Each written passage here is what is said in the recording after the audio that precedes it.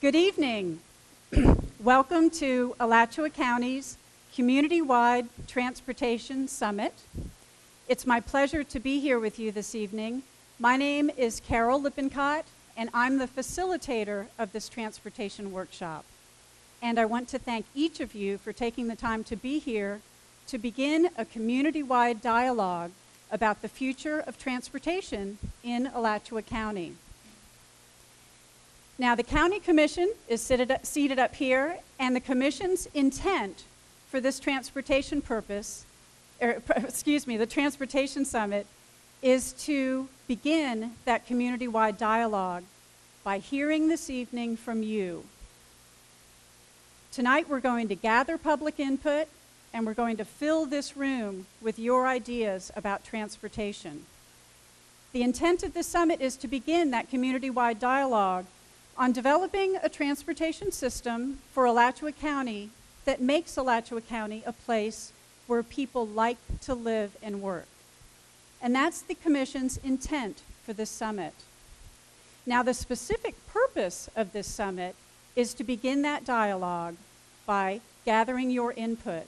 And the, the Commission wants to hear about the characteristics of a transportation system for a hypothetical community in which you would like to live and work? And what are the most important steps that you believe need to happen starting now to build that transportation system in Alachua County?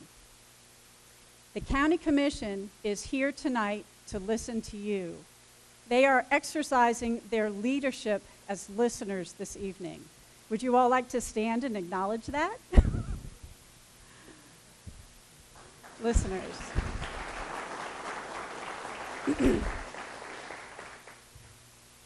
um, a few words about my role as a facilitator. I'm a professional facilitator.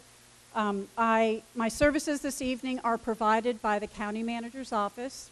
I live here in Gainesville and I work throughout Florida facilitating groups and meetings to help them achieve their meeting purpose.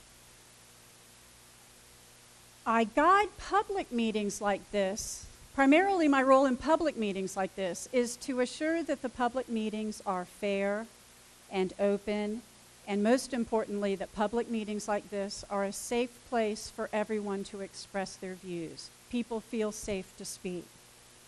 So, my job as facilitator of this Transportation Summit is to make sure that you, which includes all of you in the room, um, are heard tonight and that you feel safe to speak and are safe to speak. Now, as facilitator, I'm independent, I'm content neutral. I guide the processes of the meeting to help you do what you came here to do, which is to provide your input, to express your ideas on transportation. You determine the content of the summit. I'm content neutral. You're the content people. I'm working tonight on behalf of everyone in the room to assure that we accomplish the intent and purpose of the Transportation Summit. So, by the end of the summit, everyone who wishes to express their views on transportation will have had the opportunity to do so. And by the end of the summit, you will have been heard, and hopefully, you'll feel that your time here was well spent, and you'll feel that you really are part of shaping the transportation future for Alachua County. Okay, Another note, this is a publicly noticed county commission meeting, a publicly noticed city commission meeting. And as such, the meeting is being recorded both audio and video, and the video of this meeting will be posted on the county's website after the summit. Now I'd like to introduce the Alachua County Manager, Mr. Richard Drummond, for his uh, opening remarks. Thank you, Carol. Can everyone hear me? Normally I wouldn't use the mic, but that's the only way it can get recorded. And I got a short cord, so I can't even walk around with it. That's no fun. Um, I'm Rick Drummond, the county manager. Um, pleased to be here. Thank you all for coming out tonight. Uh, we were wondering when we chose this topic if we'd have any interest in, the, in, in coming out, and apparently it was a good topic to, to choose for a, a night like tonight. And we really appreciate you being here. Um, As, as Carol mentioned, this is a, we're looking at this as a new beginning. We've had conversation after conversation after conversation about transportation, what our needs are, and, and how are we going to meet those needs in the future. We think that we have an opportunity as a community to come together. We're not starting from any specific point. Those of us who've been involved, we all know what's happened in the past. The past is not necessarily prologue, it's, it's the past. So we are looking tonight for everybody here to um, provide your perspective. Some of you are representing groups, some of you are speaking on your own behalf. We invite everybody to participate and provide that information. There will not be any decisions, there will not be any debate tonight. The county commission is here. We've noticed it as a, as a, uh, officially as a public meeting, as, as Carol mentioned, for both the city commission and the county commission, because we wanted all of the commissioners to have the opportunity to be here. And so to make sure we weren't violating the sunshine, we're gonna, we noticed it. However, they're not going to convene at the end of the meeting and start to make decisions and sort through this. It's just information gathering.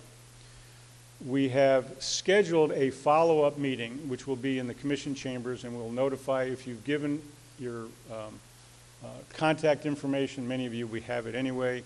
When you signed in today, you will all get formal notice of it, but I'll tell you right now, the follow-up meeting will be in the county commission chambers on June 4th at uh, 5 PM. And at that time, we will provide them, from the facilitator and staff, will provide them a recap of what, you- what you all say tonight. I mean, they'll, they'll remember and so on and so forth, and we'll get all that information together, and then begin the actual public dialogue in terms of where do we go from here. And there will be many meetings that will occur, both at the commission chambers, workshops out in the community. We don't have a schedule set up yet. A lot of that will depend on what we hear tonight, what comes out of the meeting, um, whether the county commission is going to be the driving force moving forward with any initiative, or whether community groups are going to step up and offer to step forward um, and be the driving force on uh, any initiative uh, it- in terms of what's, what, uh, what the community has identified as its needs and how we might meet those needs. So tonight is information gathering. No decisions will be made, no debate. Dr. Lippincott will be making sure that, that, as she said, everyone has the opportunity um, to make their presentation today, and there will be no interaction in that sense where people will say, what do you think about this, and, and so on and so forth. Just state your position, what you believe you think is important, and how we can get to where we need to go.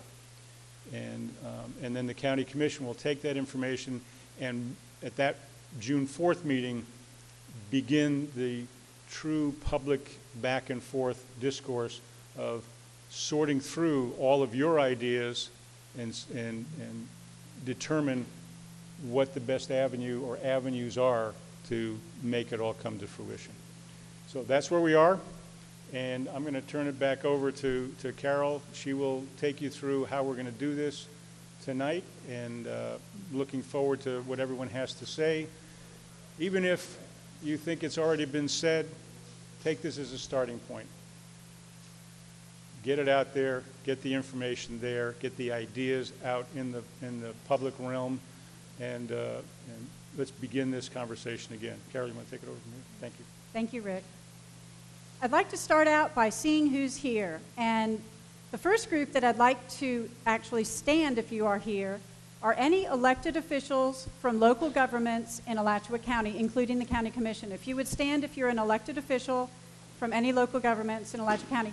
If we could quickly go around and just identify yourself. I know you're going to want to make a speech, but if you would just identify yourself, and starting with Commissioner Hutchinson.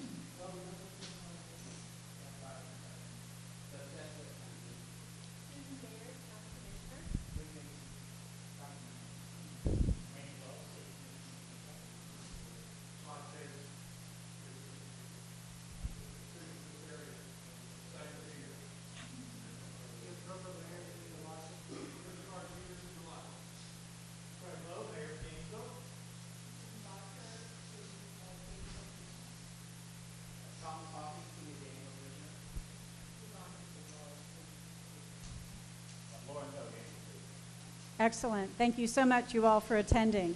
Um, raise your hand if you're staff from a municipality, a local government in Alachua County. Local governments or municipalities or Alachua County. Good. Okay, staff members. Raise your hand if you're a member of a community group, representing a community group this evening. Raise your hand. Real high, real high. Good. Raise your hand if you are a member of the general public, which means you aren't specifically with any community group. General public, get your hands up. Good. Um, raise your hand if you're here representing University of Florida or Santa Fe College. Good. Good. All right. And here's an interesting one any non residents of Alachua County. You are not a resident of Alachua County. All right. Good. Thank you. Um, a quick agenda review. First, um, I'll spend actually about 15 minutes reviewing the meeting processes and how this meeting will work for you. And after that, we'll hear from the municipalities and the community groups who accepted the county's invitation to reserve a speaker spot. Those are 10-minute speaker spots. We'll hear from those municipalities and community groups, and then we'll take a break so that you all can stretch and mingle and get to know each other. And then after the break, we'll hear from anyone else who wants to speak on transportation issues until everyone's spoken. And then um, I will work with you to review and summarize what we've heard, and uh, the county manager will close the summit. So that's the agenda. Um, note in that agenda, there's no time for questions or comments because tonight is all about gathering your public input. As I said, filling the room with your ideas about transportation. The opportunity to comment and question and discuss will be started, begun at the June 4th County Commission meeting. So, um, we want to make sure that the county commission tonight is listening to you when you're speaking. So, to make sure that they're not listening to the cell phone ringing in your pocket, would everybody please take their cell phones out now and put them in silent mode? And if you have to take a call, if you would please leave the room so that you don't interrupt the other speakers.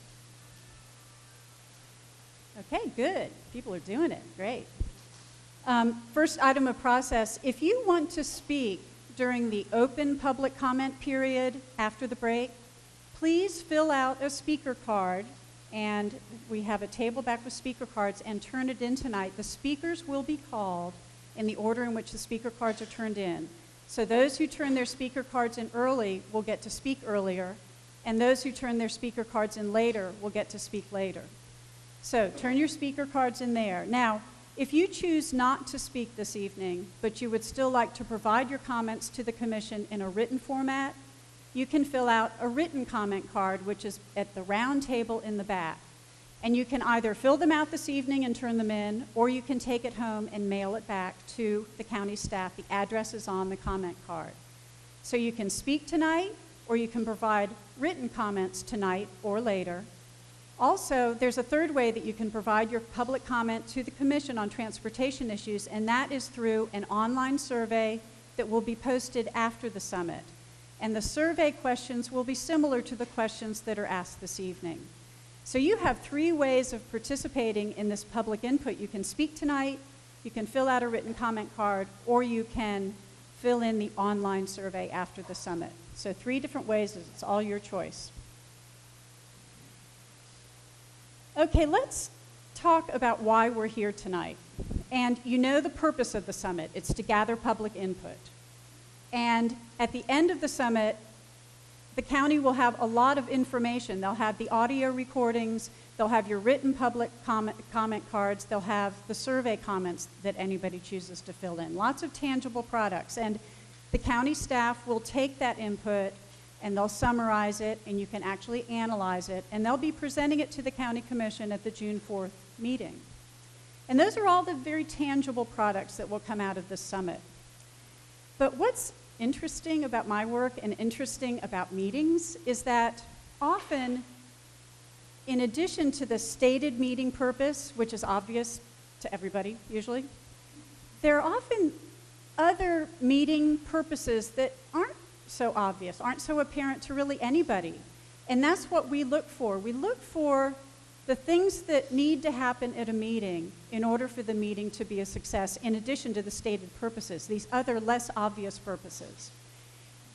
And the less obvious purposes usually don't have to do with those tangible things, things you walk away with holding in your hand. These less obvious meeting purposes often have to do with intangible things like how does this group think after a meeting? Or how does this group feel after a meeting? Like, uh, after a meeting, uh, is the group more confident about something? Or after a meeting, is the group more enthusiastic about something? Do they know something that they didn't know before and is useful to them? Those are the kind of intangible things that can come out of a meeting that can often be as important as the stated purpose. And so that's what we look for as facilitators when we begin a job. We ask, what's the purpose of this meeting? And then we try to determine well, what other things need to happen to make the meeting a success. So, uh, at the beginning of this job, I did an assessment of transportation issues in Alachua County with um, two ideas in mind. One was to look for these other purposes, the other things that need to happen to make it a success, and also to just understand the issues. I don't know much about transportation, so I needed to understand just the lingo and the acronyms. And in that assessment, I did discover what I think are two other really important purposes of this summit. And I want to tell you about those purposes, but I think the best way to start by it, start telling you about those is to tell you what I learned about transportation in my assessment. And I learned four very general things.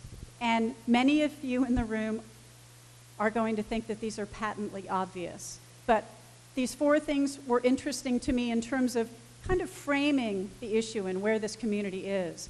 And the first thing I learned about transportation in Alachua County is that this community has a wealth of ideas about transportation. You people feel strongly about transportation, and you are totally engaged on transportation. So that is not a problem. That's the first thing I learned about transportation in Alachua County. The second thing I learned is that the local governments in Alachua County, especially Alachua County government and the city of Gainesville, they already have these very interconnected transportation plans that are in place and which they're implementing as funding allows. So that's the second thing I learned about transportation. Plans are in place, and they're doing it where they have the money. The third thing I learned is that transportation's really expensive. And meeting the transportation needs that are already identified in this community is going to cost a whole lot. And if there are delays, those same transportation needs down the road will cost a whole, whole, whole lot more. And I know that's not very quantitative, but transportation is really expensive. So we have a wealth of ideas, there's plans in place, but transportation's expensive. And number four, there isn't enough funding right now to meet the identified transportation needs in Alachua County. So those are the four things I learned. But I kept in my assessment and in my readings and my interviews, I kept hearing about the funding issue. You know, we, we have ideas, we have plans, but it's expensive and there's not enough money, we need more funding.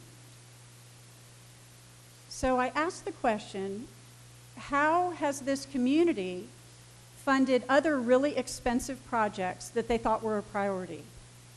And the answers that I got, what I learned is that in the last about dozen years or so, Alachua County voters have voted six times to increase taxes to fund expensive projects that they considered to be important. And those six things were schools, this is not in any order, schools once, schools twice. Then there was health care for the poor in choices. There was a courthouse. There was buying conservation lands and parks. So, six times in the last dozen or so years, Alachua County voters said, Yeah, we want to fund those important priorities. We'll um, pass this tax referendum. Now, in the same dozen years, you know what happened. Is Alachua County voters over the past dozen or so years or so have said no twice to transportation initiatives to fund transportation through some kind of tax. Twice. And it's a bit of an elephant in the room that the last time Alachua County voters rejected a tax to fund transportation was just five months ago. And it was a resounding no, with two out of three voters saying, no, this is not acceptable to us. So, what my assessment suggests is that this community is stuck when it comes to transportation, really stuck. And that led to other questions like, why is this community stuck, so stuck when it comes to transportation? And another question was, what has this community learned from the past two failed efforts to pass transportation initiatives? And then the big question is, how is this summit, this new dialogue, going to be any different than in the past? It brings up all those questions. And that brings me to the second purpose of the summit that I discovered in, in doing the assessment of this situation. And I think that an important need of this summit, a purpose, is to begin building this community's trust in this new transportation initiative. And let me explain what I mean by begin building this community's trust. It means building trust that this dialogue, the reason you're here this evening, really is, you know, this, that this dialogue truly welcomes the full diversity of voices in this community, building trust on that. Another area of trust is building trust that this new initiative really will be fair and open and honest and inclusive. And building trust that an outcome of this dialogue has not already been determined. And Lastly, building trust that this community really does have a voice in shaping the transportation future of Alachua County. So I think that's the second purpose of this meeting is building trust. And as a facilitator, I'm going to do my job to make sure that tonight this is an open, fair, honest, inclusive forum. That's my job. And hopefully by the end of the summit this evening, you'll feel that this is a process that you can trust and you'll feel motivated about becoming part of it. That's my hope. And that's my job. But you have a job here too tonight. And your job this evening is to actively participate in this summit in ways that build trust. To actively participate in this summit in ways that help this community to get unstuck when it comes to transportation. So that brings me back to the stuck part and the unstuck part. And I think that the other purpose of this summit is for each of you to answer the question How will I help this community to get unstuck when it comes to transportation? I think that's the third purpose. So we're going to gather public input. Hopefully, we'll build trust that this is meaningful. And each of you is going to, to ask that question of yourself and hopefully come up with an answer. Now, certainly that's up to each of you whether you want to go there. But the whole concept of helping groups to get unstuck is what facilitators and mediators all around the world do. And there's a familiar way for groups to get unstuck if they choose to do so. And we know about these methods because there are case studies from across the United States, from across the world, of groups and communities dealing with really, really tough issues, and they are getting unstuck. And they're having breakthroughs, and in some communities, they're doing some really remarkable things in these case studies.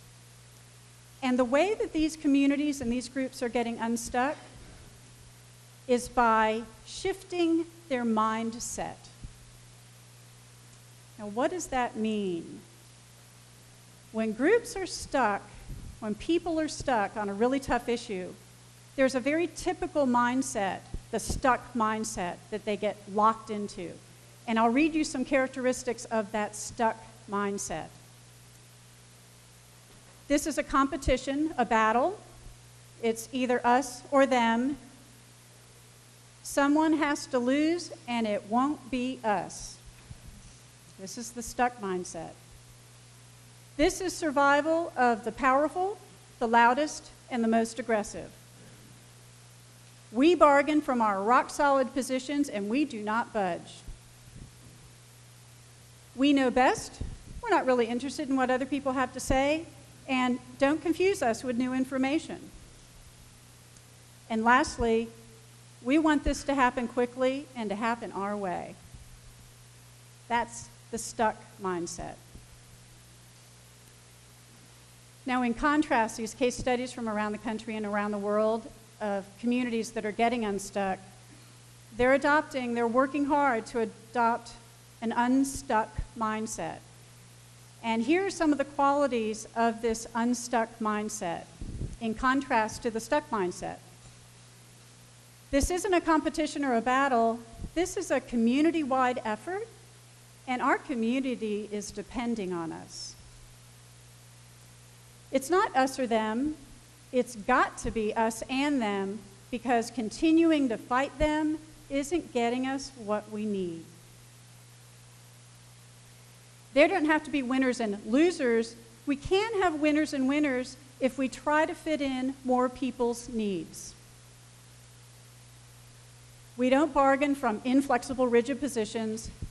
We negotiate to meet our deeper interests.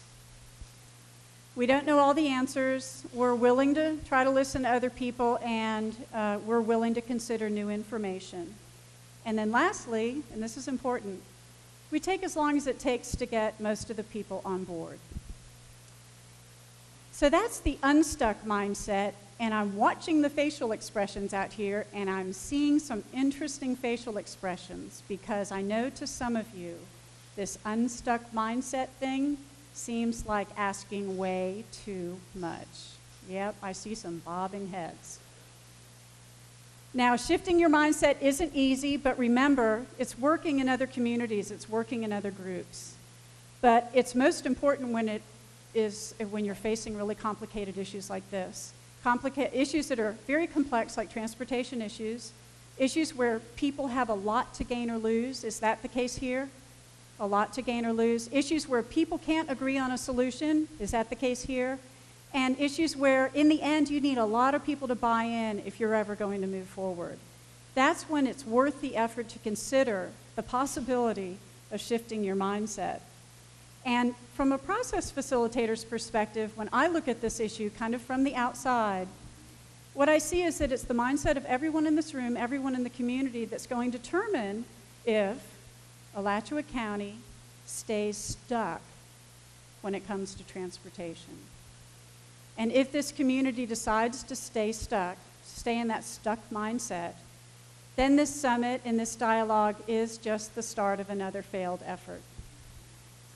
However, you can decide to try to shift your mindset and to try looking at things differently and be part of the beginning of something, have this summit be the beginning of a real breakthrough for transportation in Alachua County and a real breakthrough for this community.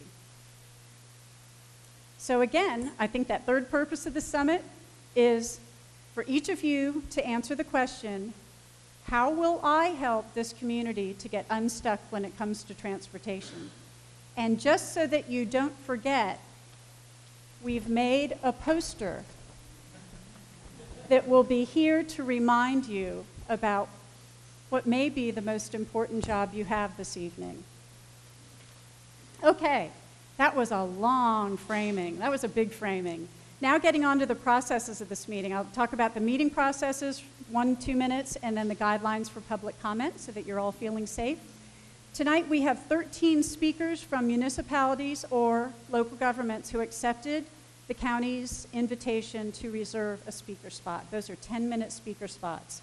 Now, to you speakers, that 10 minutes may either seem like a really long time or not nearly time enough, but remember, hit the high points tonight.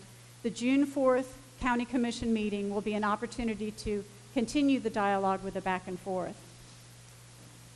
Remember tonight that we will not be having questions from the audience, no responses from the County Commission. This is about filling the room with your ideas. It's a public input process.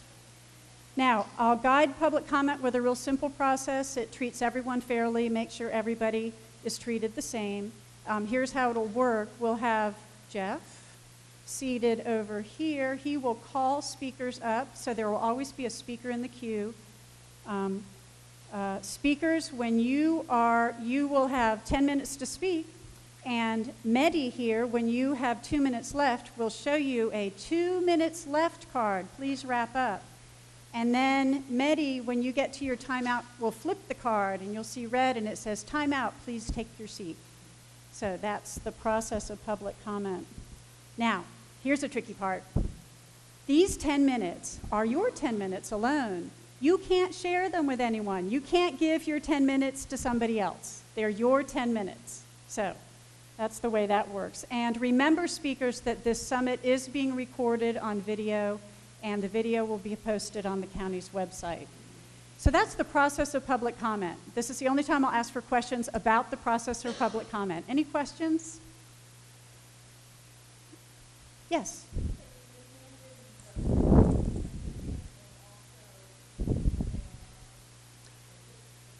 The intention is that your voice would be heard once. That was the intention. Okay, guidelines for public comment. I love this part. This is where I play my role of assuring that everybody feels safe and is treated fairly. Um, we have two guidelines for speakers and two guidelines for the audience. So, speakers, your two guidelines the first one is finish in time. Really easy. Be gracious. When your time's up, sit down, be gracious, so that you don't take somebody else's time. That's simple. Speakers, your other guideline is a little different, and that is to use your time wisely. Use your 10 minutes wisely. The county commissioners are all seated here and they are intently listening to you. This is valuable time. You have their full, undivided attention. What they want to know is what you need regarding transportation, what you need. So during your time, tell them what you need. But that said, it's your time. If at your time at the mic you want to spend part or all of it complaining or criticizing or telling the county commission exactly what I will not do, you can do that with no personal attacks. But if you choose to complain and criticize and tell them what you won't do, then you've missed an opportunity to tell the commissioners what you need and what you will do. It's really valuable time, so use your time wisely. That's the other guideline for speakers. Okay, the guidelines for the audience. The first one is one speaker at a time, and what that means is that whoever's at the microphone is the speaker. So please, no interruptions from side conversations out in the audience while the speaker's at the mic. The second guideline for the audience is no bullying the speaker.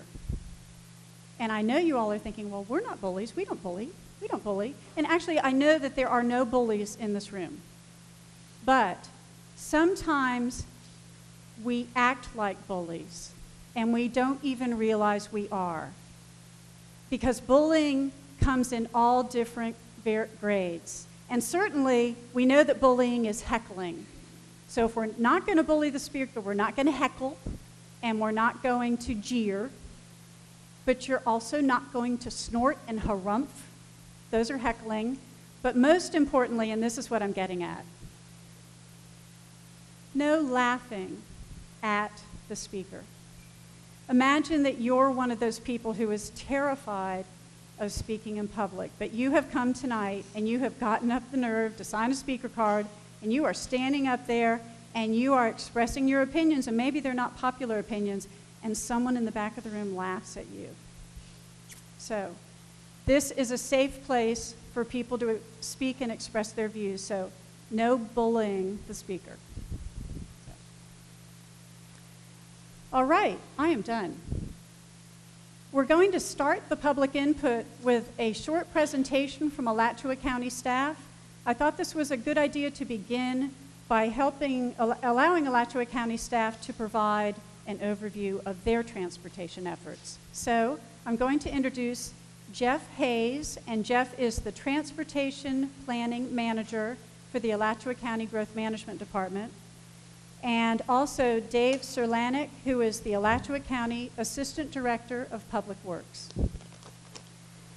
Well, thank you, Carol. Um, as Carol mentioned, we're going to do a, a, brief overview of the county's existing transportation plan. Because, as Carol and Mr. Drummond noted, this is a new beginning, but obviously the county and all of the jurisdictions um, in Alachua County have been doing transportation planning for many years and have transportation issues and, and things that are have been discussed for many years. And I wanted to give a brief update on what the county's transportation plan is, how it relates to land use uh, and transportation, and then Dave is going to talk a little bit about some of the county's unmet needs when it comes to the maintenance of our existing transportation system. Um, well, as you're aware, obviously we're in Alachua County. Here you see uh, the county boundary.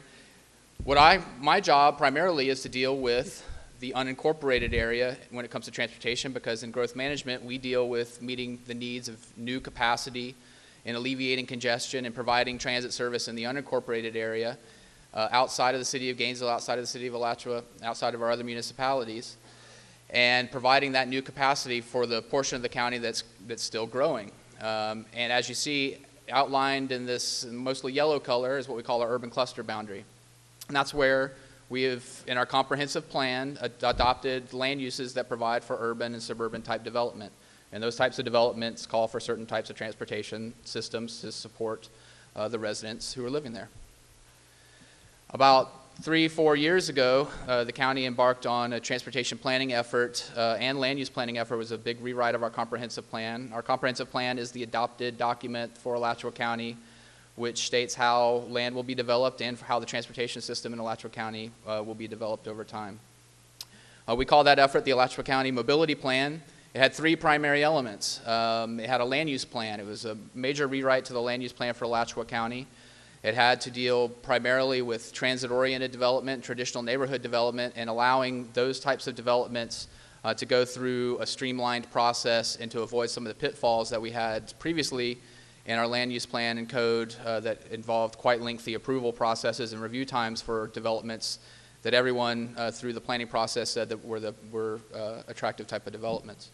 The second part, of course, was the transportation plan. Uh, it's a multimodal plan. That means all modes of transportation. Um, has roadway connections that are part of that plan. It has express and premium transit service. It has a bicycle and pedestrian network and building that out. And then lastly, there's the funding component. And so these are things that we established in the comprehensive plan and have followed up with uh, in the code and the other ordinances.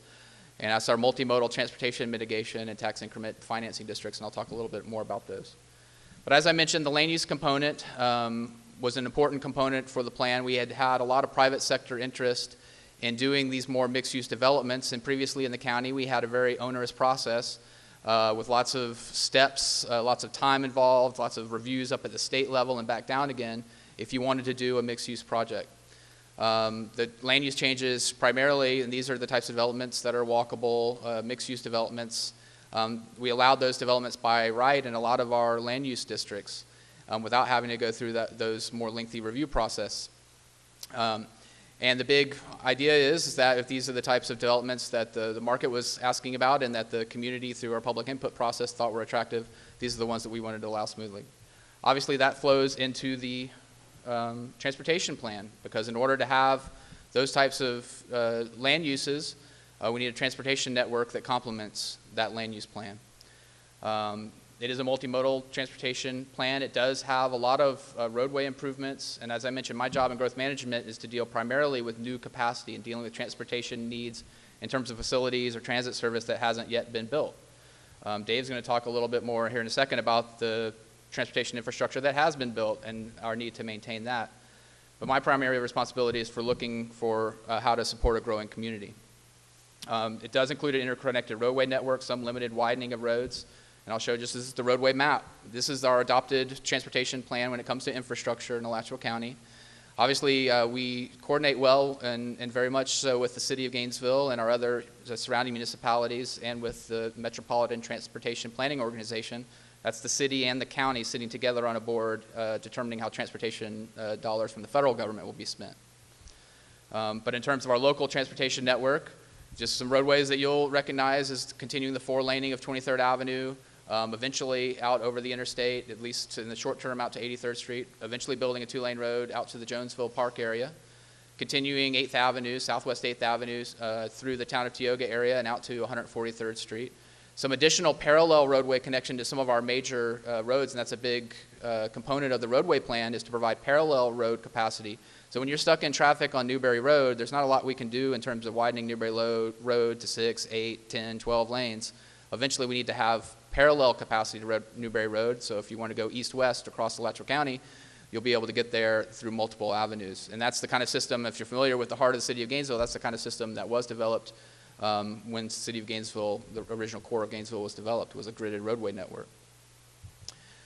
Um, Of course, we had a bicycle and pedestrian plan that was a component of the mobility plan, and primarily it was to add uh, in-street bike lanes wherever we could when we were resurfacing a road, at least a swale section road, a road that doesn't have curb and gutter where the curbs aren't set. Additionally, it was wherever we didn't have a multi-use path or a sidewalk, here's an example, 98th Street, something that's going to be constructed here in the near future, where there's no, it's a collector roadway, it, it, it carries traffic, uh, you know, it's not just local traffic, but also uh, traffic coming in from other um, areas. Uh, we wanted to provide bicycle and pedestrian infrastructure on those types of roads, so we called for multi-use paths al- along at least one side of each road that's either a collector road or an arterial road, and that's uh, planner lingo for uh, large roadways. In terms of the transit uh, aspects of the mobility plan, we uh, had a two-phase plan. One was that we needed to have, we currently have some uh, transit service in the unincorporated area that provides local circulator service into East Gainesville, uh, the Tower Road area with Route 75, and some uh, service up to the Santa Fe College area. Uh, and all of that runs into the city of Gainesville, into the heart of the University of Florida. Well, we wanted to eventually start to provide some service out to the edges of our urban cluster area to start applying the pump um, for transit service, eventually to serve those areas out to Jonesville, uh, more frequent service out to the Santa Fe College area, out to the East Side Activity Center and East Side High School, um, to provide some peak hour transit service to, to help to provide some commuter service into the city of Gainesville and into the University of Florida. And I'm going to talk a little bit more about how that service would eventually evolve into a more um, premium type of transit service.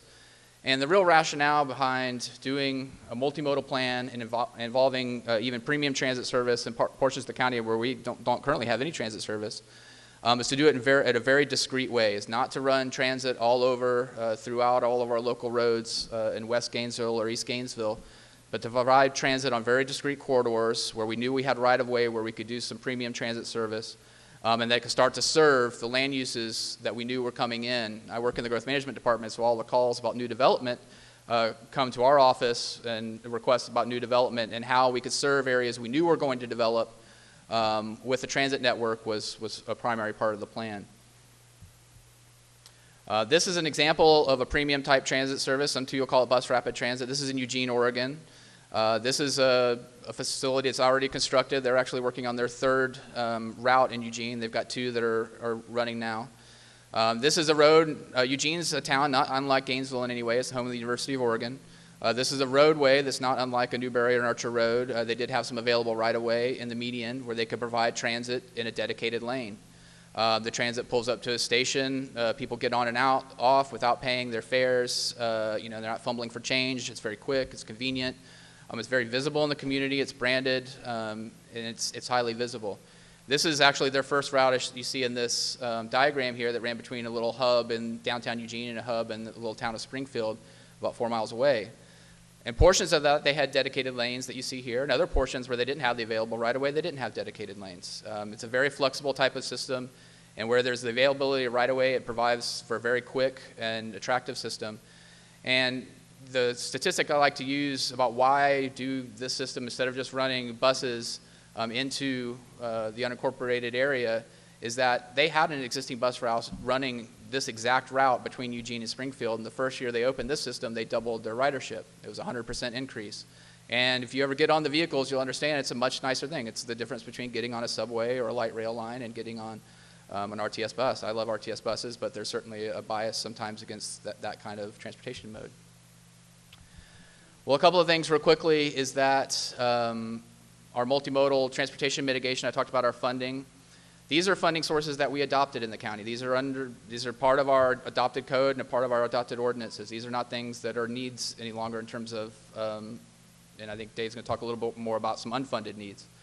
Um, our multimodal transportation mitigation, I think the take-home message, it's a one-time fee on new development. And the rationale behind it is just like an impact fee. It's, it's very similar to our existing transportation impact fee. In fact, it replaces it for the folks who pay this fee or pay this mitigation amount.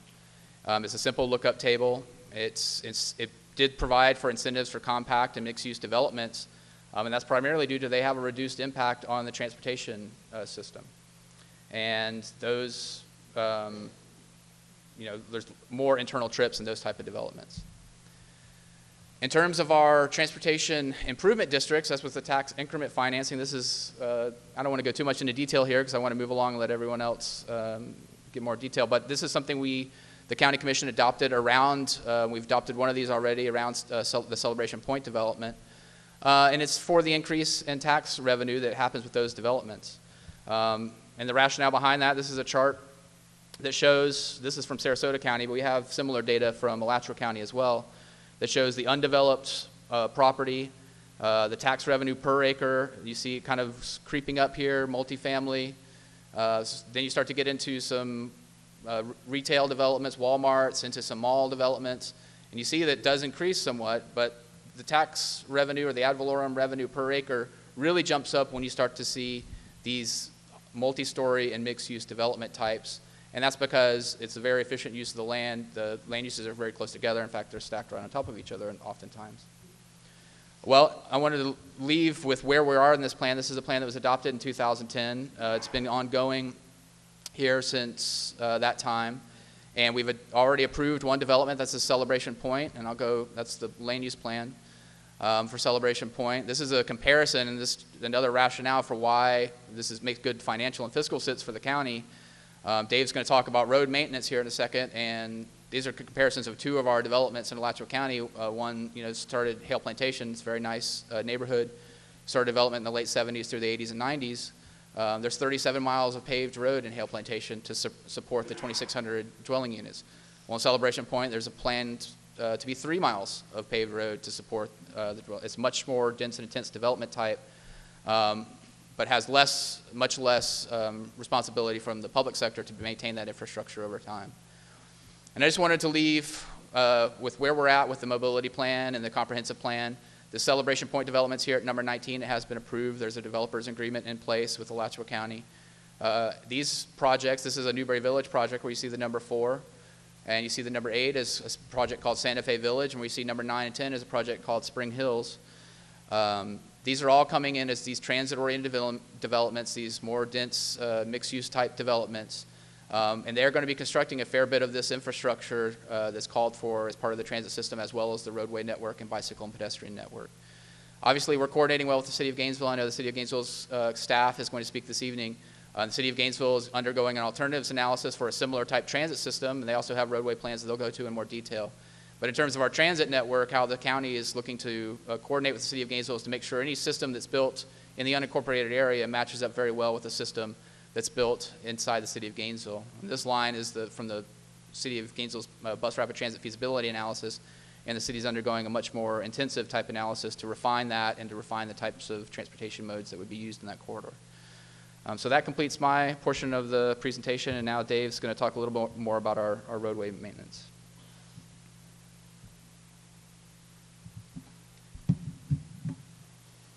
All right, so Jeff told you a lot about what we have. Well, what's left? What's critical for us and what's really unfunded? And it really is down to our existing infrastructure. And it really isn't anything new. We've been talking about this for a few years now. And every year, you can see it's getting a little bit worse. Well, I wanted to kind of go over what the Alachua County's portion of it is, because a lot of the cities have similar issues, and they'll be able to speak on their own behalf. But clearly, we have a county-wide system that, as you can see by all these uh, black lines, these are our county roads. And as you can also see that many of the roads go in and through each of the cities. So we are a community-wide issue. Existing infrastructure isn't really, you know, it's all around us, and we all use it. So, what does it look like? Well, when we did our analysis in 2010, we did a real full investigation of our entire infrastructure. And when we looked at that, we have 677 miles of paved roads on the county infrastructure. And of that 677 miles, 85% of that infrastructure is in need of some type of structural repair. And uh, what we have here is we've got a pie chart showing the different types of repair. I'll get into that in a minute.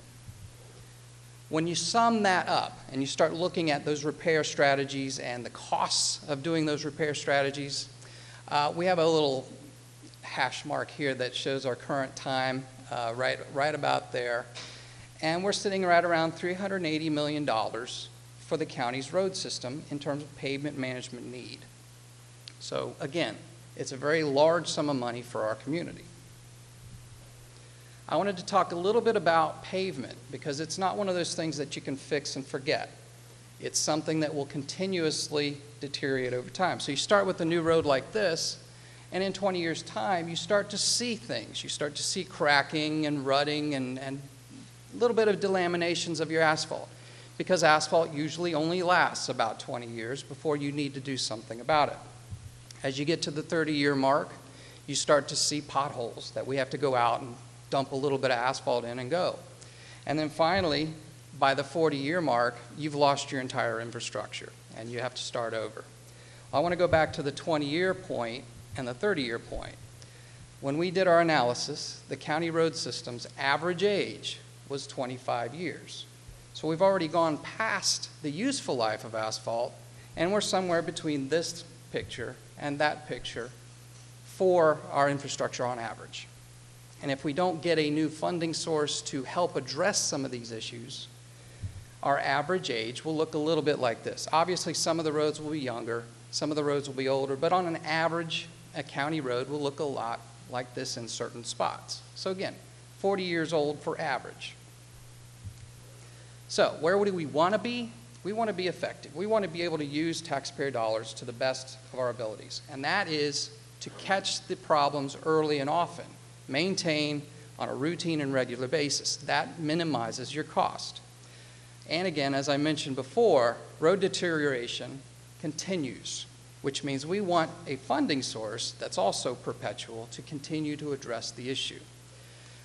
This note down here never let a road reach the need for structural repair. We say this for a reason, and it's because it's extremely expensive. When you look at a roadway, it's not just asphalt on top. It's about two, three, maybe even more feet of material when you drive on a road. You start with stabilized material, and you have to get that compacted. And then you get some lime rock base course. And you start putting your asphalt lifts on there. And again, uh, a layer is also called a course. So for anybody that's more legally or jumbo. Oh, anyway, uh, we got about an inch and a half of, of a friction course, another inch and a half of asphalt structural course. And what you want to do in terms of effective pavement management is you want to catch the need while it's still early in your friction course. You want to be able to take care of milling off this piece and putting it back because that's your most effective, cost effectively that's your best way of dealing with your pavement management needs. Now, when you start getting into the structural course, that's more material, more time, more expensive. And then when, when you finally lose your asphalt and you start getting into your base courses, that's when the costs skyrocket. Well, for example, we go back to the pie chart I started with, and I want to point you to these two slices of our pie as of the 2010 analysis. That showed we had only around 9% of our infrastructure in those two categories, but it took 15% of the need in terms of 56 million of the 380 million I mentioned. Well, if we continue on in the year 2030, that pie slice, those two pie slices, will become around a quarter of our total. And it will quadruple in price. So again, try not to let roads get to this point because it really is cost effective to deal with them in these other categories where you're only doing minor milling and resurfacing and moving on. So, Jeff told you what we have. We have plans in place to deal with new roadway capacity as they are needed, new bike ped facilities, new transit, and we have ways of linking everything together with our community. The one thing that we feel, in terms of the county, is still missing in our total plan is our pavement management program. So again, that is our need. And we hope to hear from all of you what your needs are. So thank you.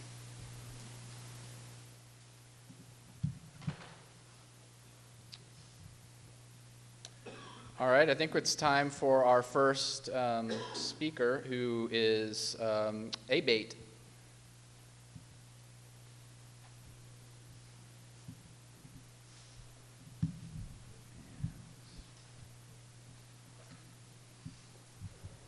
Actually, I'll just put this up.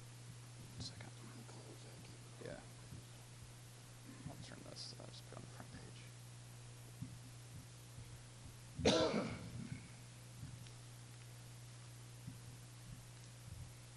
I'll just leave that up.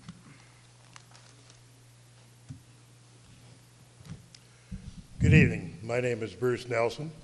I'm with an organization that we call ABATE. It's American Bikers Aimed Toward Education. We are a, not a gang, we're not a club, we're not a Harley group. We are a motorcycle rights organization and a motorcycle safety organization.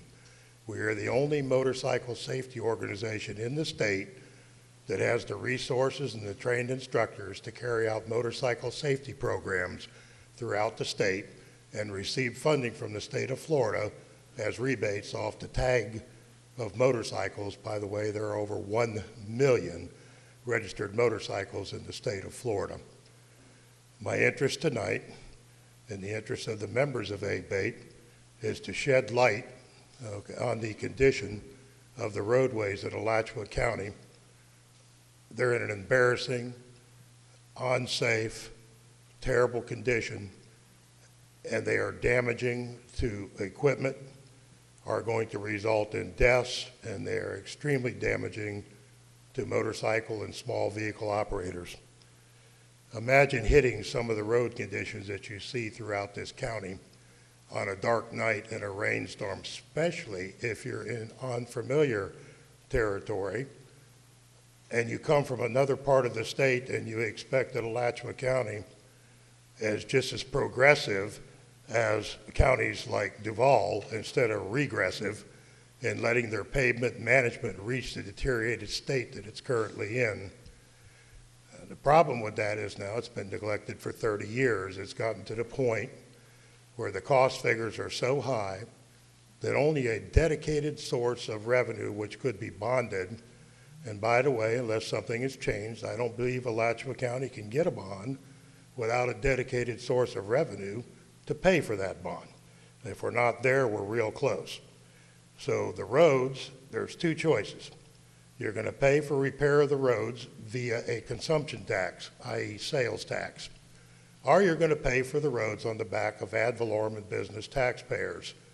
But make no mistake, there will be a point when you'll have two choices, fix the roads or increase the fleet of motor graders to motor grade our roads, which used to be asphalt.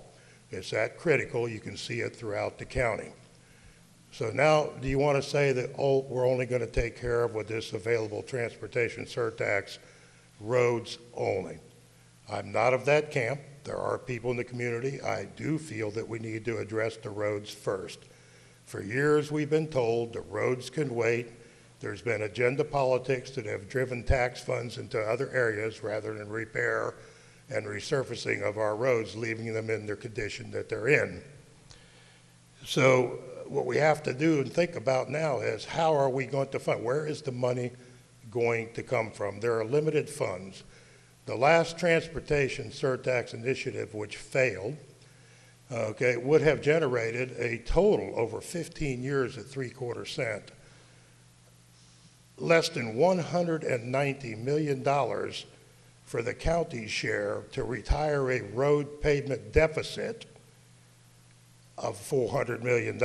And if county staff's projections were correct last time, because of the activities of certain groups against that initiative, our bill has now gone up $65 million per year. So add another 130 million if we get a source of funding uh, that the taxpayers will accept in this next election. So I think it would be short-sighted to say that all we want for transportation is to take these funds from a surtax and direct them all toward pavement management because of the past indiscretions of our elected officials in taking care of the problem. And I don't want to go into blame on individuals, but it's a fact that's right there before your eyes, the condition of our infrastructure.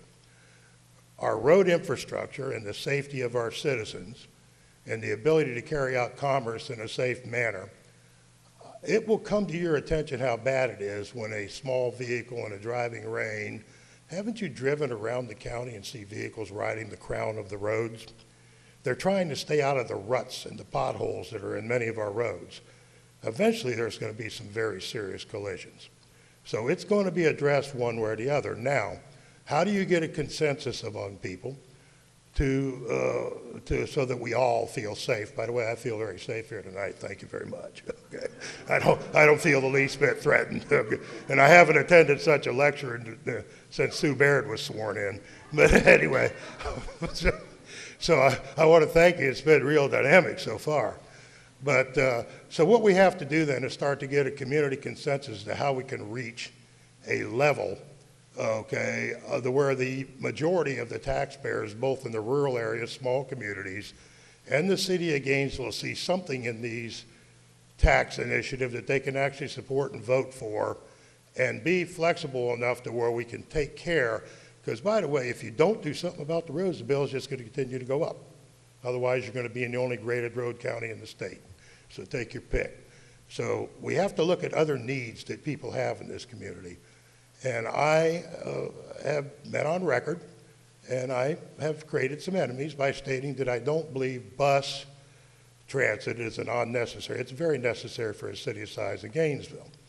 But how we carry out that bus transit, how efficient it is, how it's structured, how we're going to fund it, and to what degree we're going to fund bus tram- transit is something that the taxpayers are going to have to take a good, strong, hard look at and make some hard decisions.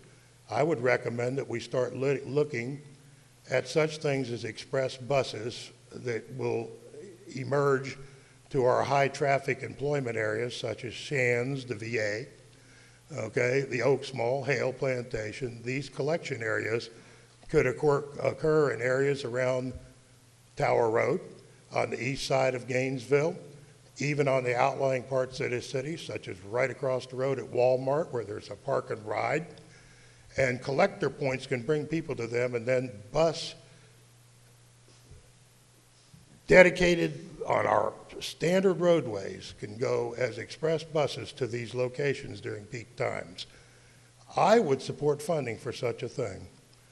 What I will not support, and I don't think the public will, and the reason I bring this up is I've been very attuned to this issue for 10 years. At this point in time, looking at the backlog in roads and the inadequate headways of buses and the lack of any express bus service, these things need to be funded before we start building an entire new transit system with dedicated right-of-ways and roadways. I love some of the terms I hear when I go to county commission meetings. One of my favorite is calming traffic. We want to calm traffic. Okay, that means they want you to sit in congestion. Okay. Now, if we want to calm traffic so much, why are we talking about bus rapid transit? Get up a little earlier. Drink your coffee on an express bus. The multimodal mitigation and the transit-oriented communities can get bus service, okay? But they can get on a express bus and run on the same roads as everybody else does. And then maybe there will be a different attitude about traffic calming.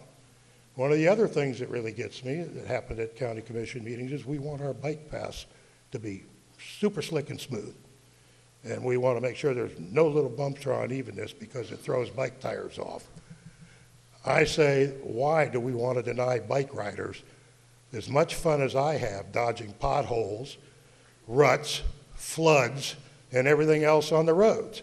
So if you're going to be candid about it, okay, stop this nonsense about that, you know, everything has to be perfect and, I, and, and that transit, anybody that's for repairing the roads automatically hates buses.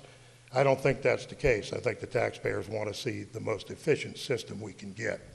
There's only so much money to go around, so the question is, where is it going to come from? Where is it going to serve the most people? Where is it going to be the most effective towards safety and mobility of the people within our community? And them are the questions we need to answer. Uh, and I guess in closing, I would state that I think that we could come up with a tax that will pass. It is going to be difficult. I think there's agenda-driven politics that's demanding bus rapid transit for a few thousand people, leaving another 250,000 sitting out there in the lurches. And if that occurs, the taxpayers will spot it for what it is. The term of the tax should not exceed four years. It should be subject to citizen review on a twice-a-year basis to see that the money is being spent. It needs to be inclu- inclusive of a very clear, concise project list. It should be very difficult to deviate from that project list by requiring the supermajorities that were in the last tax. There's much more that can be said, but I hope you'll think about is where is the money going to come from and who wants their loved one to die first? Thank you for making me feel safe.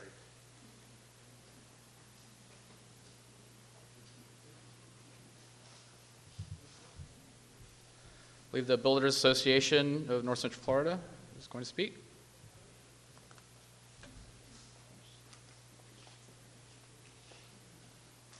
Thank you, Jeff.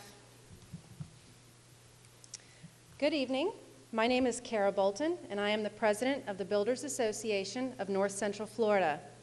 Our membership is comprised of 550 members throughout Gainesville, Alachua County, and beyond. It is my pleasure to provide our organization's input for your thoughtful consideration. I'm going to cut right to the chase. The Builders Association supports a five year tax for transportation improvements with a dollar for dollar reduction in impact fees and MMTM fees as provided for by those programs.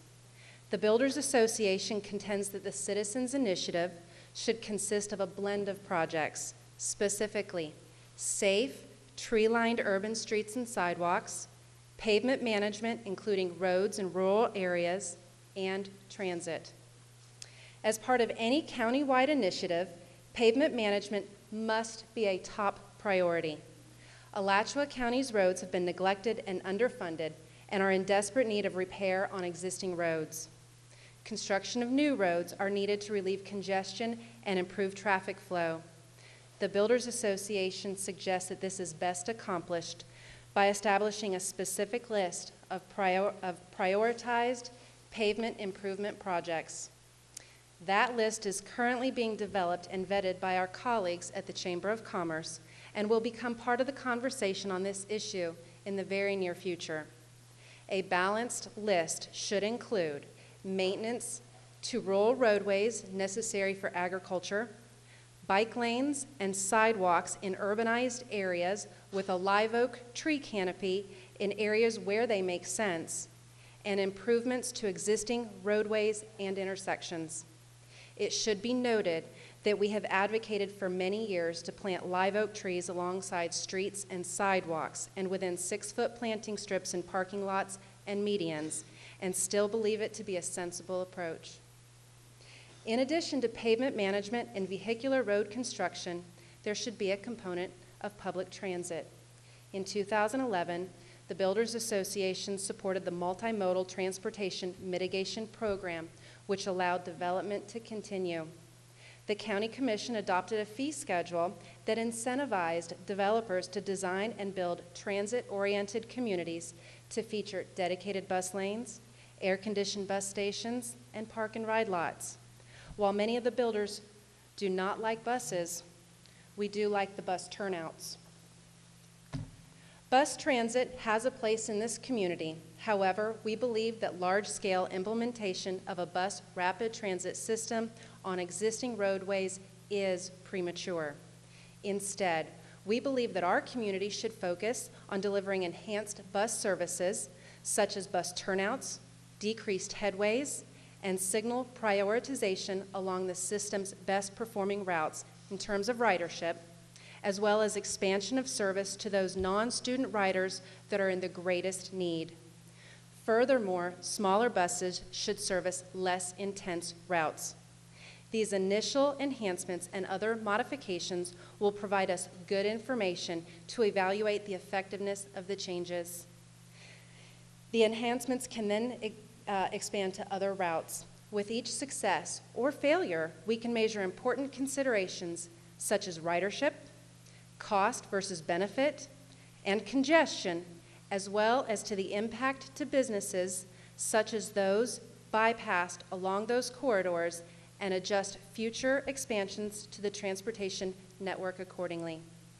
In summary, the Builders Association supports a community-driven five-year tax with an emphasis on quality street trees, pavement management, vehicular road construction, and enhancement of the existing RTS system on routes with proven success with an equal offset of impact and MMTM fees. The county commissioners should consider a further reduction on impact and development fees to stimulate the local economy, add improved properties to the tax rolls, and help shape a community that can sustain public transit. And uh, as our moderator mentioned, transportation is expenses, is expensive, so I'm going to repeat that. The county commissioners should consider a further reduction or moratorium on impact and development fees to stimulate the local economy, add improved properties to the tax rolls, and help shape a community that can sustain public transit. We need to move quickly on a decision and get unstuck. The Builders Association looks forward to building a consensus with the various community groups to implement a logical, cost effective, and comprehensive transportation system that will meet the needs and expectations of the citizens of Alachua County and the City of Gainesville for many years to come. Thank you so much.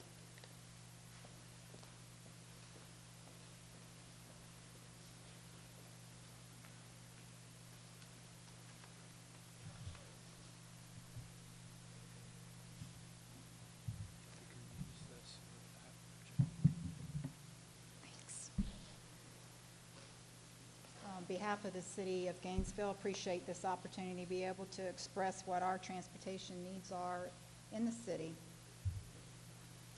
Um, The city has taken an approach of looking at a balanced transportation system.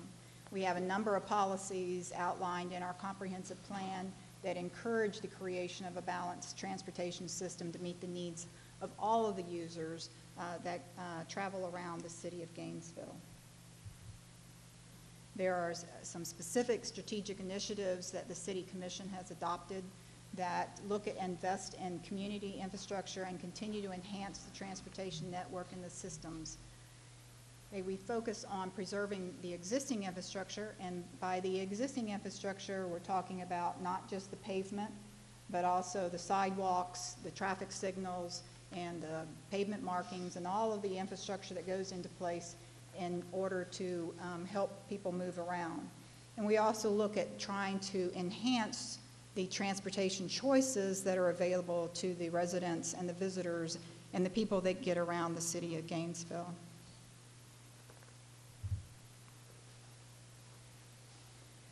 I mean, looking at the balanced transportation system, we look at a safe, reliable, and convenient multimodal transportation system, and we believe that equals um, having travel options and reduced congestion.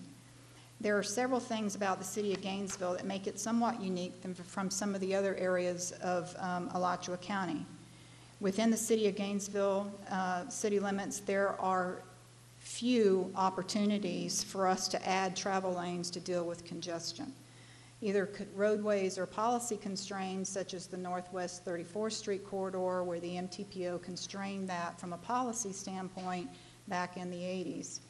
There are some physically constrained corridors, such as University Avenue, 13th Street, Newberry Road, where the costs are prohibitive to be able to widen those roadways.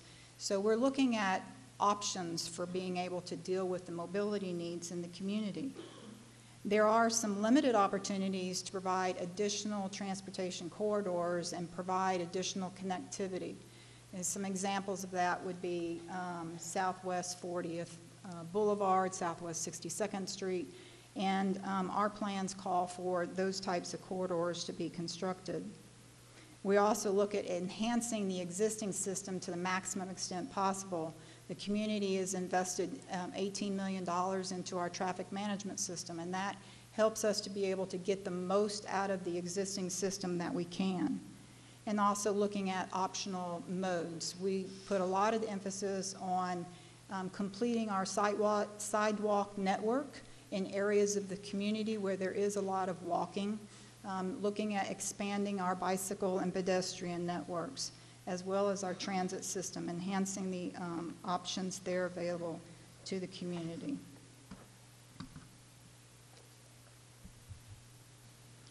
The City of Gainesville goes through prioritization process for all of our projects. We look at the transportation mobility element, the capital improvement element, um, for the long-range planning needs uh, associated with the uh, city's transportation system. And then we come in every um, couple of years and look at our capital improvement program, and we have both the funded and unfunded sections of that. We also participate in the Metropolitan Transportation Planning Organization, where we look at long-range transportation plans and um, the short-range plans through the TIP process. But for the city projects, what we do is develop a prioritization criteria in which we look at um, several considerations. One, existing conditions, pavement condition, uh, traffic volumes associated with the roadway, um, the roadway's classification. We look at safety issues, crashes, um, proximity to schools and transit, and, and opportunity for that connectivity between the modes of travel, as well as connectivity to regional areas um, and making sure we're consistent with other plans. We look at redevelopment incentives and opportunity to partner with other um, um, groups, enhancing access to disadvantaged groups and access to activity centers. Some of our current funding that we have available um, is somewhat diverse, um, and uh, some of it's some one-time funds, but we do have the additional local option gas tax, which for the city of Gainesville, it's about $1.2 million a year.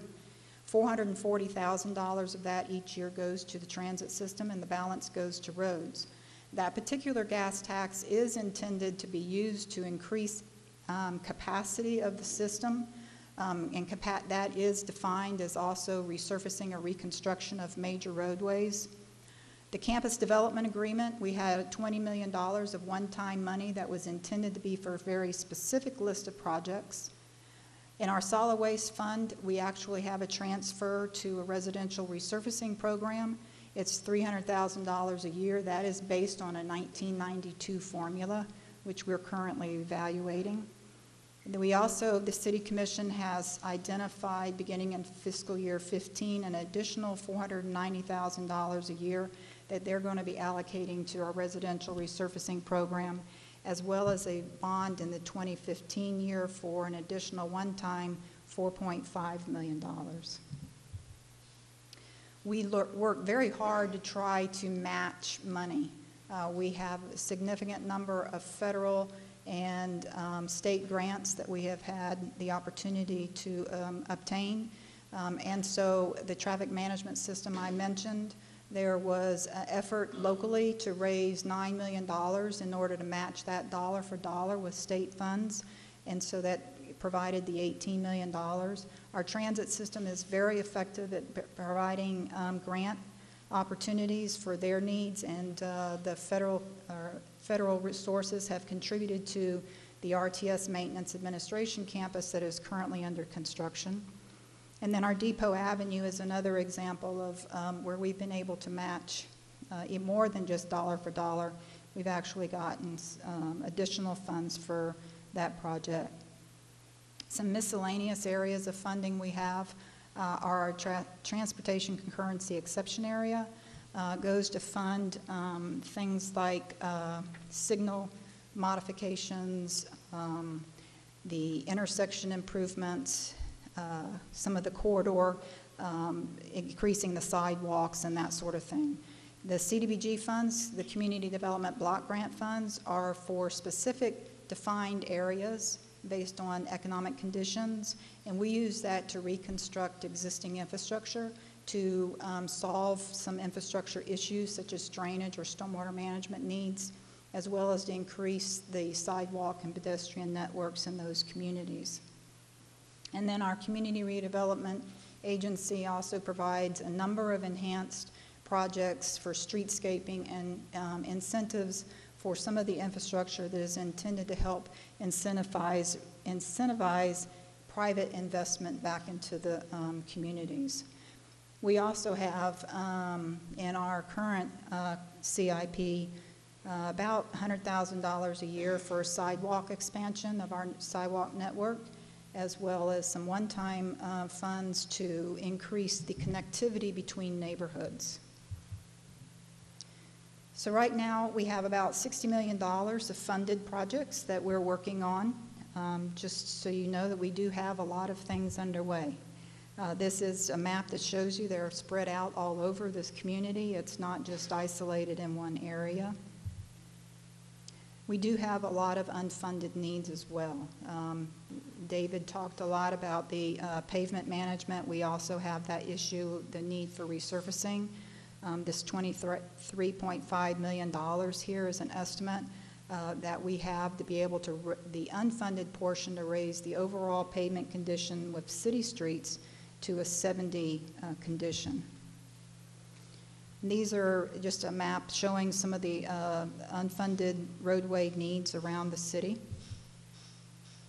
Unfunded transit um, services, we have, uh, every year do a transportation uh, development plan, and we also, a couple years ago, developed a premium transit plan. And in there, we're identify a number of needs for enhancing existing fixed route services, as well as providing a flexible um, services that would be considered premium, the bus rapid transit and the urban circulator. This is just a map showing some of those projects that uh, have been identified and talked about at the city level. Overall, our unfunded needs um, are here uh, identified, and um, I can tell you from my perspective at having worked with the city for a number of years now that um, each of these components is extremely important in, in order for us to promote the livability and the um, effectiveness of the commi- community. And uh, we are um, looking for ways to maximize our opportunity for our funded projects and looking for additional funds to complete our system. Thank you very much.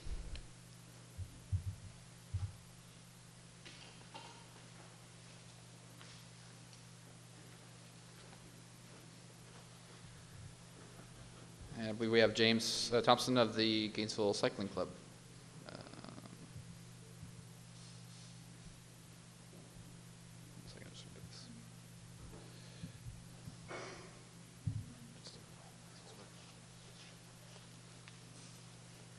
Good evening, uh, commissioners, elected officials, and uh, members of the public. Um, I'm James Thompson. I um, am the advocacy director for the Gainesville Cycling Club. We are 1,100 strong, um, one of the largest clubs of any kind in the, uh, the, uh, the county here. Most of our folks are Alachua County residents. Um, interesting uh, things tonight. I do want to say, in, in regards to what our facilitator uh, said at the beginning, um, I, I do hope this is a new beginning. Um, and I already see that when I hear the people speaking before me. I think I agree with a lot of things that everybody has already said up here. I, of course, disagree with some things too, but I hear things from um, Abate, uh, from the uh, Builders Association, obviously the, the city, and um, I agree with a lot of that stuff. So I think we can work together on a lot of these things. Um, we've already proven um, in this last election cycle that we can, you know, vote against uh, spending on transportation and roads. Um, I think the question is how do we move forward and convince my uh, folks and other folks that we can vote yes on it and, and spend some things on some things we need to get done. Um, I think we've accomplished a lot in this community. Uh, we have Silver Star in Gainesville from the League of American Cyclists for bikeability that we earned over the last few decades. Um, we do have some excellent bike ped facilities. Um, our bus ridership is over the top. I came here in the mid 90s when um, out on the southwest part of Archer Road, you'd had to wait, wait for a bus for about 45 minutes to an hour to go into campus. Now, I think probably in the time it takes you to walk from your apartment to the bus stop, you can miss a couple of buses. Um, that, that's awesome. We are now, according to the last census, uh, number seven in the nation, in front of Portland, Oregon, which I, I think that's bragging rights, for the percentage of our population in the Gainesville metro area, which is actually a good portion of, um, of Alachua County, for the percentage of people that actually ride their bikes to school and work and play. Um, that number is about 6 to 7 percent, depending on how you, how you count. Um, that's pretty awesome. That's great stuff. Um, we do, however, have some, some issues that need to be addressed. And I think the pavement issue is often seen as an automobile issue only. But I want to assure all of you, and especially Mr. Nelson and the abate crowd, that we cyclists do ride in the worst part of the street. it's, it's the edge of the road. And I feel you. I do. It's, it's bad. Um, I was very lucky this morning to ride on some fairly decent roads that are less traveled out by Rocky Point Road, uh, Paynes Prairie. Um, I got to watch the fog lift back on uh, Wacahoota Road, which is a little bumpy, but no one's really out there anyway. And uh, we have a beautiful county. There's a lot of beautiful places to go. The, the bike uh, trails, the rails to trails, the facilities in High Springs, Archer, Alachua, uh, Gainesville. These are things that attract tourists from all over the country, and they're things that make those communities livable and uh, more enjoyable to be in. So we do have a lot of awesome things. What could we do? What would I like to see done? What would my group like to see done? I think um, some easy things uh, that I'll mention first are there is a vast network of easements, fire roads, trails, cut throughs, alleyways, much of it owned by GRU, which is the city, some of it owned by the county. And a lot of these places are actually very safe and are actually being used to transit by foot and bike um, as we speak. Um, most of them are not trespass roads or trails. They're, they're open. They're not posted. Um, you know, I think we need to sort of look at that as some other cities have across the country and see if there aren't some of those places that, with very little investment, very little patrolling, very little inputs as far as money goes, can actually be used to get bikes and foot walkers off of the streets and onto places that are pretty and enjoyable and in many cases cut straight lines and beelines through to the places they need to go. That's good for everybody. I mean, I ride on the street, but I'd love to be able to um, allow uh, young people, especially, and kids to ride on places where they don't have to be next to cars. That, that would be preferable. Um, that network is, is mapped, it's out there. There are even people adding uh, the new, I call them the new white lines to their Google Maps um, you can see some of them if you look up uh, um, some of our cities in the county. So I think that's something we need to look at. Um, another thing I think we need to do is um, realize that I think we talk past each other a lot, and it's nice to get here together and speak to the commission and to the public about these things. But I think it's clear to me that some of us stakeholder type folks need to actually get together somewhere else and hang out and talk. Um, we're the little guy in the ocean here. I mean, there's not, the, the cyclists are a small portion of the road users, but uh, so it's very easy for us to do that. But I'd love to meet some of y'all sometime out and, you know, go grab a burger or whatever at some place and have a talk about this stuff. Because I think when we come to county meetings and city meetings and argue and poke and uh, sort of fight with each other about this stuff, we don't get a lot done. And the roads tax fails, um, things like that happen. And I don't know that this is the best place to do that. This is a good format, and I like what we're doing here. It's really awesome. But I'd really like to meet with a lot of y'all informally outside of a venue like this, and so that when we do go before the county and the city, we can maybe, maybe come to the table with some things that, hey, we've already agreed on out in the world, and we can move forward more quickly. Um, third, I think um, I don't know that we've all done a great job of educating ourselves and each other about what some of these things are. I've spent the last week or two uh, re educating myself about what bus rapid transit is.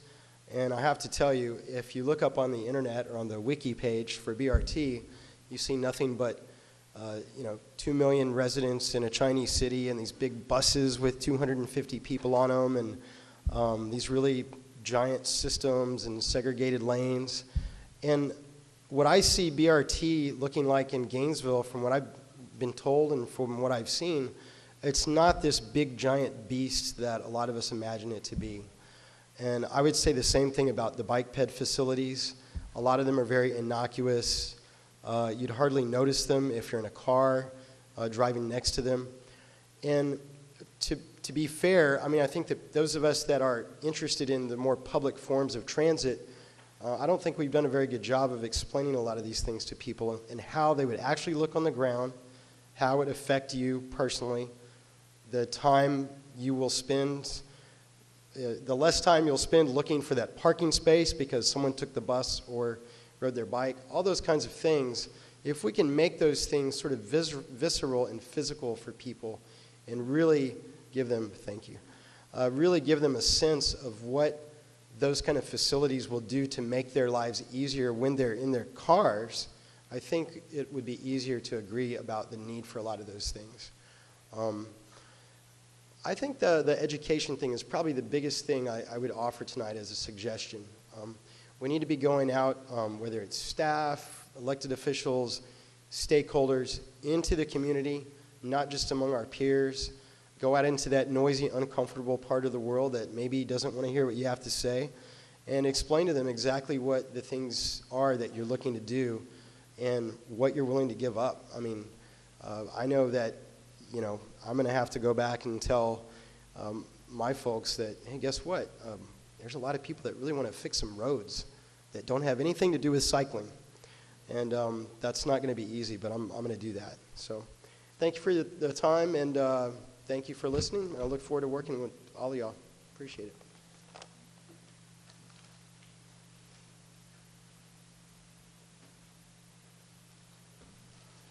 Do we have a representative of the Gainesville Institute in the audience? They had requested to speak, but, okay. Moving along then, we have the Gainesville uh, Area Chamber of Commerce. Brian Harrington.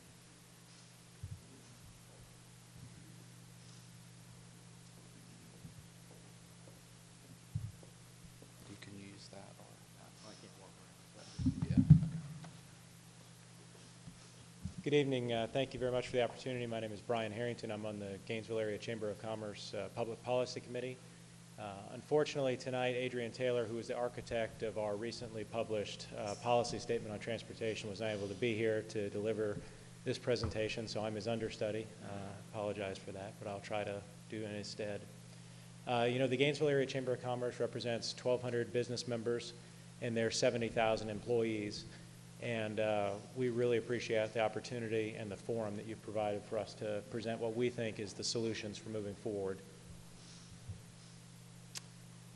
So we're at a fork in the proverbial road. We've been here before in this community, and we have sometimes successfully navigated the correct path and other times not. And so the Gainesville Area Chamber of Commerce would like to emulate past successes that we've had collectively in moving forward.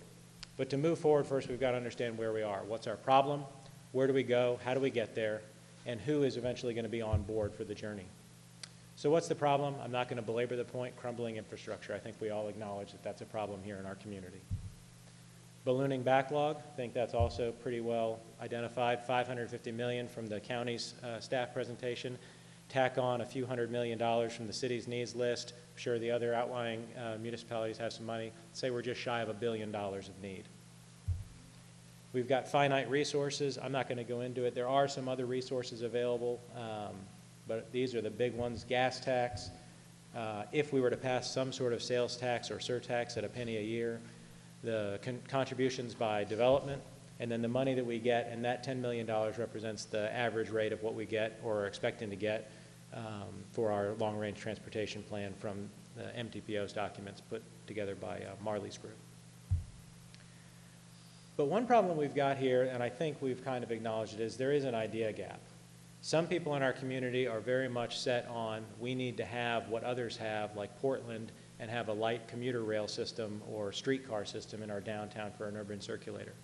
Others believe that bus rapid transit, which was just discussed, it can be a lot of things. Some people feel that it needs to be a, a network that connects Santa Fe out to the airport with a majority of dedicated lanes, in some cases potentially even taking lanes from existing vehicle traffic. And still other peoples on the, on the other extreme believe that the transit system is fine. It deals with the University of Florida students. That's all it's intended for. It is satisfactory as is. And you know what? We just need to pave. We need to pave, pave, pave. And the chamber believes that um, if we can, and it's been our experience, not just in initiatives that we've undertaken, but in journeys that we've made to other communities to see how they solve their problems, that if you can deaden the noise from the perimeter, from the extreme, and you can focus on the center, there's a lot of opportunity to build consensus.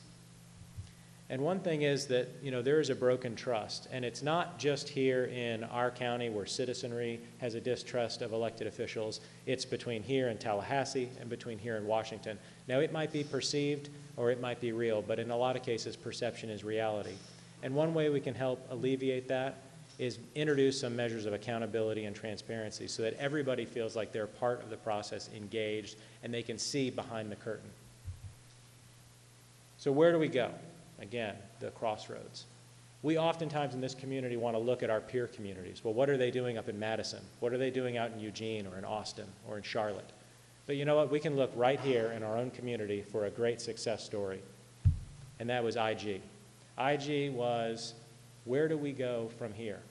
How do we take all of the human capital that we've developed through our university system and make sure that they have an opportunity to stay here and help grow an innovative, green, sustainable economy? And I think the lessons learned in IG can be translated into success for transportation. So how do we get there? Priorities, solving that funding puzzle, identifying how we can introduce transparency, and then building advocacy through results.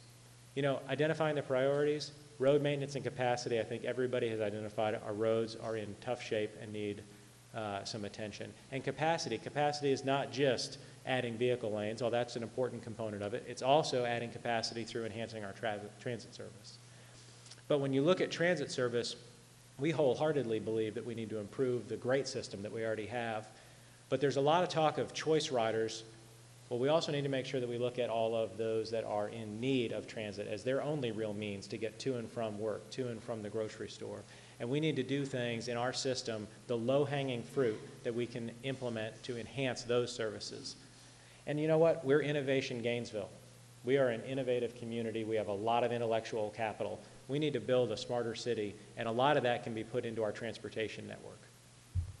Solving the funding puzzle, you know, there's a lot of vehicles, and this isn't all of them, for how you can put money towards solving our problem. Um, you know, we're open to talking about what method and means we meet uh, those challenges with. Probably going to wind up being some form of surtax or sale tax, surtaxing a little more flexible for transportation and operations. You know, transparency, a lot of people have talked about a list. You know, there already are a lot of lists out there. Um, what the chamber would like to do is we would like to go out to all of the constituent groups in the community, not just those that are the strong advocates, but we want to talk to everybody involved, residents in East Gainesville. We want to talk to the university, not necessarily for their students, but for their employees that come not from within, but from without, from Putnam County and from neighboring counties to the west. And that, through creating that transparency, you help build back that trust we want to build advocacy through results. Well, what does that mean? These are three numbers 51, 73, 82. That's York County, South Carolina. 1997, they had identified a serious need in their existing transportation infrastructure. And they knew that there was nobody with a magic solution as far as funding to fix it, so they were going to have to fix it from within. They came up with a plan. That plan had a list. That plan had uh, citizen oversight for transparency. That barely passed at 51%. They started implementing that plan over the next six years, and in 2003, with 73% approval, they passed the second phase of that same tax because they had demonstrated to their constituents and their citizens that they could be responsible and effective with those dollars. And 82% is what that measure passed by in the most recent election in 2010. Here in our own community, the Alachua County Public Schools, it was talked about before, they had a need identified because of state funding cuts that they were going to lose critical services such as nurses. Well, our community will support causes that we are passionate about, and we were passionate about our school children. And that passed, and it was passed because there was community effort. It passed because there was a plan. Here is what we're going to do with the money. Here's how we're going to use it. There was oversight. Lo and behold, that tax, or that um, one mil came back up this past year, and it passed with overwhelming success. Why? Because they had demonstrated proven results. If we can do that again here with transportation, I think we can have success. But to do that, we've got to have metric points. We can't have a tax that extends ad infinitum or a long-term period. We're targeting a four to eight year, so there can be that trust building, that accountability. And you know what? It might take five, seven, eight iterations of a referendum, but if we can build that trust and continue to build on it, we can see results like were found in York uh, County, South Carolina. You know, recently there was a uh, editorial in the Gainesville Sun. I see my two-minute card. Uh, citing a book, Good to Great by Jim Collins, and specifically his analogy that had to do with, ironically, a bus. And the idea being that you've got to have not only somebody driving that bus, but you've got to have the right people on that bus and in the right seats. And we wholeheartedly agree. And just like with IG, the Chamber is looking forward to driving that bus and through community outreach, getting all the right partners. Again, not just the advocates, but everybody that has a stake in this community's transportation system, getting them involved in the plan developing an equitable plan that deals with everyone's concerns to the best ability within the reason of funding and time. Making sure that those measures of transparency and accountability are there. Have a list. Have that list overseen by a citizens um, group. And then that helps to build that trust. Do it for a four to eight year period. Then come back to the citizens and say, citizens, here's what we did. If you approve of what we've done with your resources, give us another opportunity. This is a quote from Henry Ford Coming together is a beginning, keeping together is progress, and working together is success. This identifies what IG was, and it identifies what our transportation situation in this county can be. And the Chamber looks very much forward to driving that bus and with you all being on board. Thank you.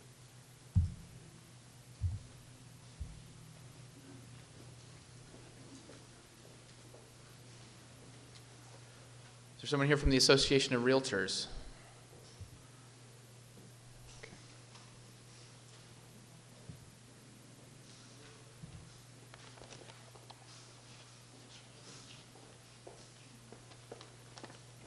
Good evening, Commissioners. Thank you for the opportunity to do this. Uh, I am Tommy McIntosh, and I am representing the Association of Realtors here tonight. If you're not familiar with our group, we have about 750 professional realtors that are members of our association. We're a very diverse group. My remarks tonight are going to be very brief because our board of directors has to approve anything that I come to you and tell you. And we haven't had enough time to build a consensus, uh, but we do have a few things that the board has authorized me to put before you. First of all, GACAR supports a balanced approach to address the transportation deficiencies throughout the county. It's our belief that all the citizens should see some sort of improvement. So we appreciate the opportunity to be here at this summit and what you're trying to accomplish. The second thing is the approach recognizes, we believe that balanced approach recognizes the importance of continuing to improve upon the public transit system in areas where the public transit system is being utilized by those who need it. We have some citizens that really depend upon the transit system yet do not have access. There are others who would use the system more if they were not asked to wait an excessive time between buses. There are others where the transit system would be viewed more positively if bus pullouts were available so the bus did not block traffic. Many of these things could dramatically improve the transportation system and should be considered in any proposed tax. The next thing that we would, that our board is, at, is uh, suggesting is the approach also place an emphasis on a pavement management system that will address the needs of the whole county. I think we heard the number $380 million in a prior presentation from your staff, and that number's not getting any better. That's a big number.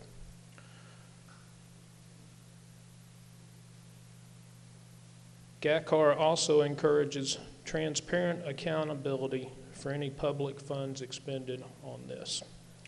There are several tools which could be incorporated to accomplish this, which may include, but not limited to, an identifiable project list which prioritizes how the funds would be expended, a report of funds collected and projects completed, and an independent oversight group that is charged with reporting to the taxpayers. All of these things for, we put for you to consider. Once again, thank you for seeking our input. We understand that tonight is a starting point. Um, We want to continue to be involved in this process as it goes forward, and we appreciate the invitation to be here tonight. Thank you.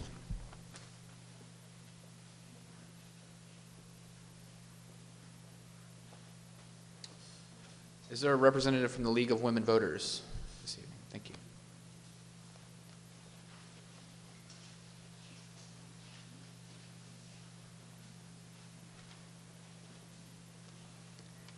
Thank you. I'm Billy Staff with the League of Women Voters. I also have a very brief presentation. I merely would like to state the League position at the national and state level. The League of Women Voters of the United States supports local and regional moves to improve mass transit and supports other alternatives such as express lanes for buses and carpools. The League of Women Voters of Florida supports public transportation projects which yield multimodal investments in local and state enhanced infrastructure. The League of Women Voters of Alachua County has not studied or addressed specific local transportation proposals and issues.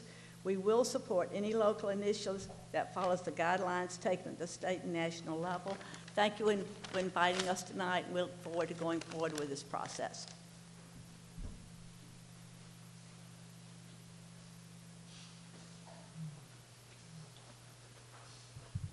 Next up is Open Alachua. And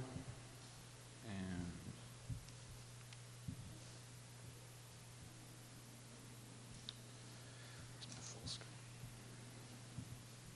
How do I, how do I get rid of your mic? Hold on, let's get you to the beginning.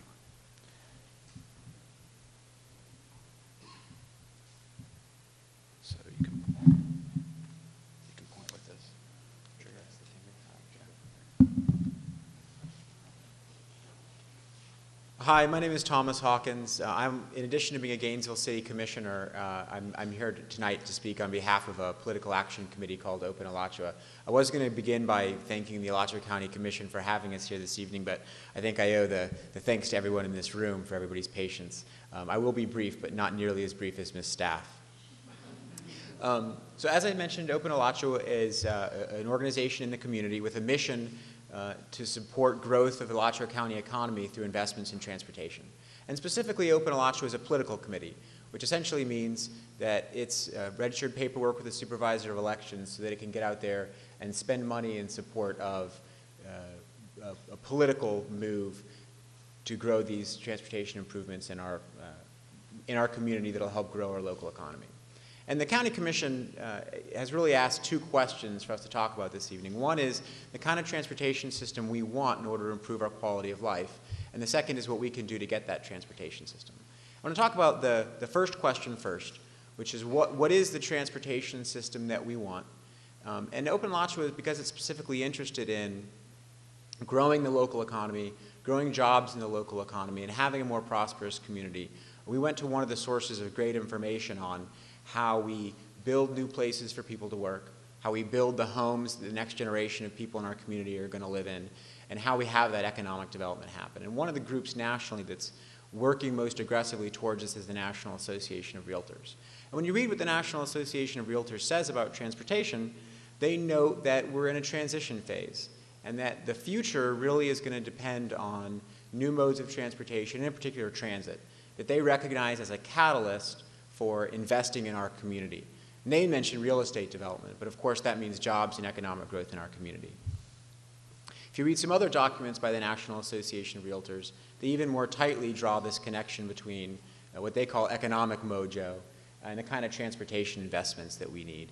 And they say that we need transportation choice, which is a way to say that in addition to being able to drive, people should be able to walk or bike or ride transit. And they say that we need walkable neighborhoods, and the new development that we have should be of a walkable characteristic. And they point out this is not just good for the young folks who they see as new creative economy workers that are going to drive our job market forward, uh, but also people of, of other ages as well. And the good news is that that idea is already part of the plans we have for transportation in, in our community. Um, whether you read the City of Gainesville Comprehensive Plan, the Alachua County Comprehensive Plan, the Long Range Transportation Plan that's put together by the Metropolitan Transportation Planning Organization, or even documents like the Innovation Square Development Framework, which was put together by um, the developers of Innovation Square to look at what kind of infrastructure we're going to need to make that development a successful economic engine for Gainesville. And when you look at the Innovation Square Development Framework, it makes very similar points that the National Association of Realtors does. It recognizes that we're in a state of transition, that the future is going to be different than the past, which seems like a no-brainer, but sometimes we have to remind ourselves of that. And that secondly, what that future is, is a focus on transportation choices and a greater variety of options than we've had in the past.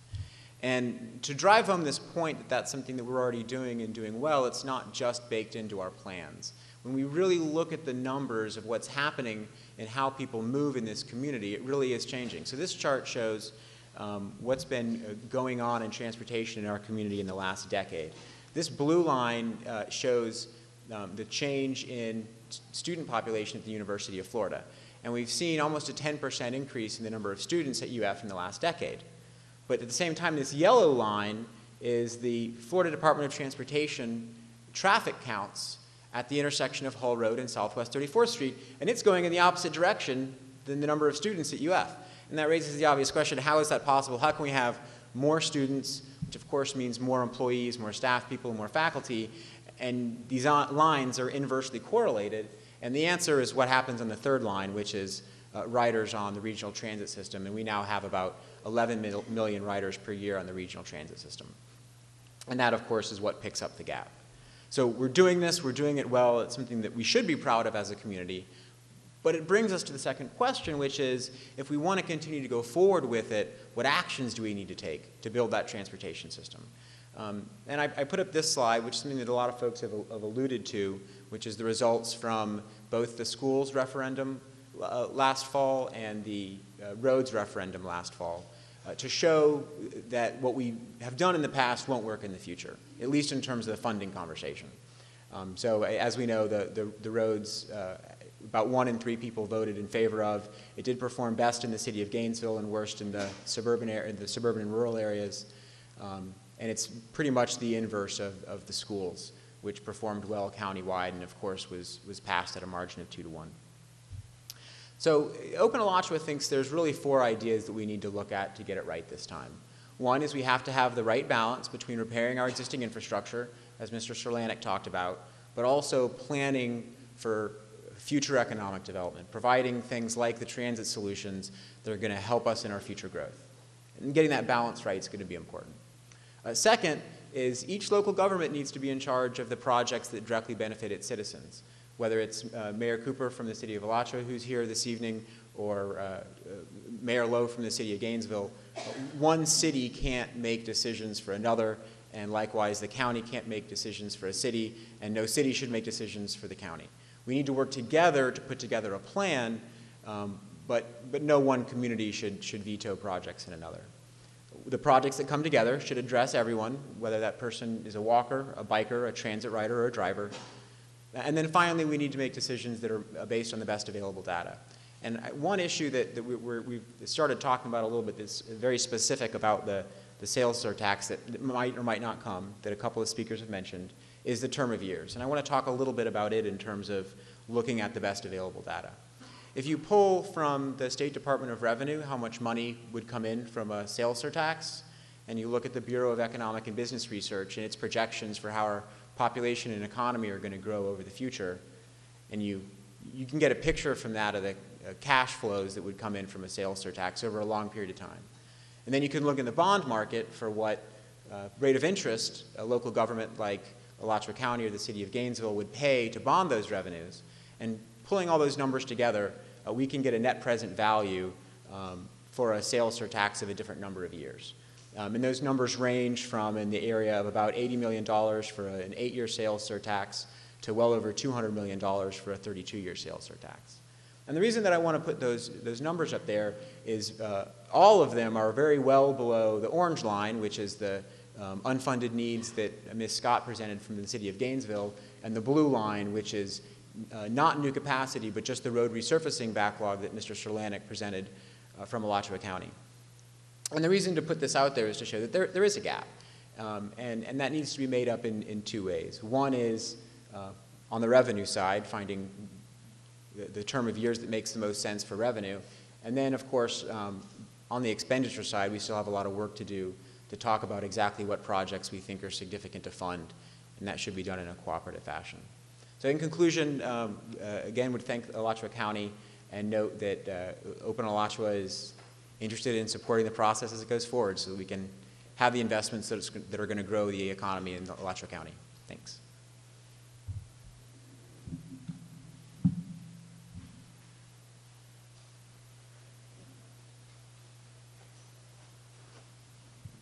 Mr. Martin here of the Rural Concerns Committee.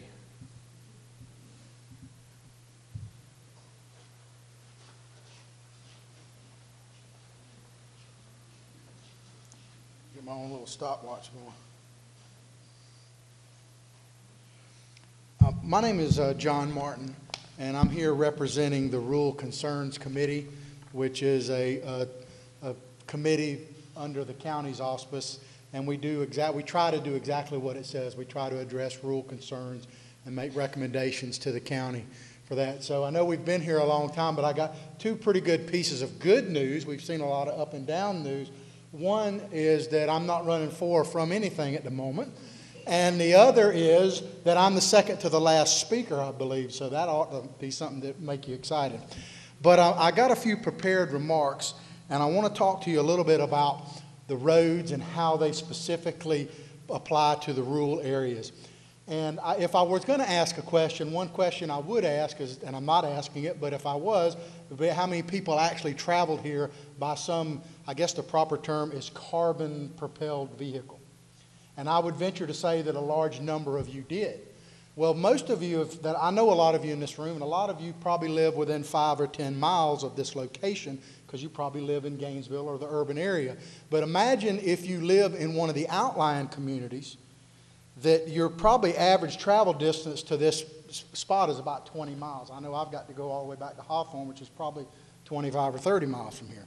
But I want to read you a few things, and uh, First, let me thank you for allowing me to be here, opportunity to do the rural concerns and represent us. As such, I'm not here to advocate for or against any additional taxes, but to bring to your attention the, the importance of the road system to rural residents and businesses. My task today is to convince you that whether it's through additional tax dollars, which we've been discussing, or an allocation of current monies, it's your duty, the county commission, an obligation to maintain a road system that recognizes the special connection roads have, have to rural concerns. And according to their own reports that you've seen, and depends on how you look at the numbers, but the reports show that we have a backlog in road repair that is approaching half a billion dollars, and as a previous speaker said, it's not getting any better. And many of these roads are either in the rural area or impact rural residents' ability to access vital services. The condition of the roads is having a direct impact on the economy of all of Alachua County. And this impact is even greater in the rural areas because they have to travel more distances on roads to, and they don't have the mass transit options that, that you would have if you lived in the core of, of Gainesville. To illustrate this impact, I'm going to cover three areas. One is agriculture and the business behind it. Two is the general businesses that are in the rural area that many people may not be aware of. And third, something that is rarely talked about, but the fact that, Alachua, that Gainesville is the county seat of Alachua County, and therefore residents uh, have to travel into Gainesville from the rural area to assess a bunch of different um, uh, services that I'll get into in a moment. Uh, I, and I got a little folder here. I don't have a PowerPoint presentation, but this is from UF IFAS Extension, Alachua County, and it is available, I guess, online. But I just want to read you a few things, and this is specific to Alachua County. A lot of people may not know it, but the third largest employer in Alachua County is agriculture. How many people probably knew that? It's fourth total value of added of all industries. We're third in exports of things outside of Alachua County, which I think is pretty important. Here's a, a statistic most people might not know. Agriculture provides 37,147 jobs, which is 23% of the county's workforce. people are looking for work, agriculture is a way to go. I'm going to skip on down. I encourage you to look at this. But agriculture supports local businesses. 284 million in business sales average a year. 670, this is an interesting statistic, 679,000 in direct farm sales to CSAs, farmers markets, roadside stands, and you pick 'em operations. What that basically means is that you can buy local produce without having to travel as far, impact the roads right here through agriculture. And the, the, the main point I want to make to you is that agriculture, like other businesses I'm going to talk about in just a second, is very dependent on the road system specifically. Mass transit will not enhance agriculture and the ability to produce, these jobs. Not, does not mean that we're opposed to mass transit, but I think you need to realize that there is an impact economically directly behind roads. 54% of county land is used for agriculture. So if you like the environment in Alachua County, you can probably think a farmer. They own 54% of the land in Alachua County. 98, that's 340,000 acres. Here's something that's really interesting. 98% of farms in Alachua County are small farms, and 88% are individually or family owned. So we're not talking about a big corporate farming like goes on in other parts of the country. This is mom and pop businesses. These are your friends and neighbors if you live in the rural area, and they're providing a huge impact for you.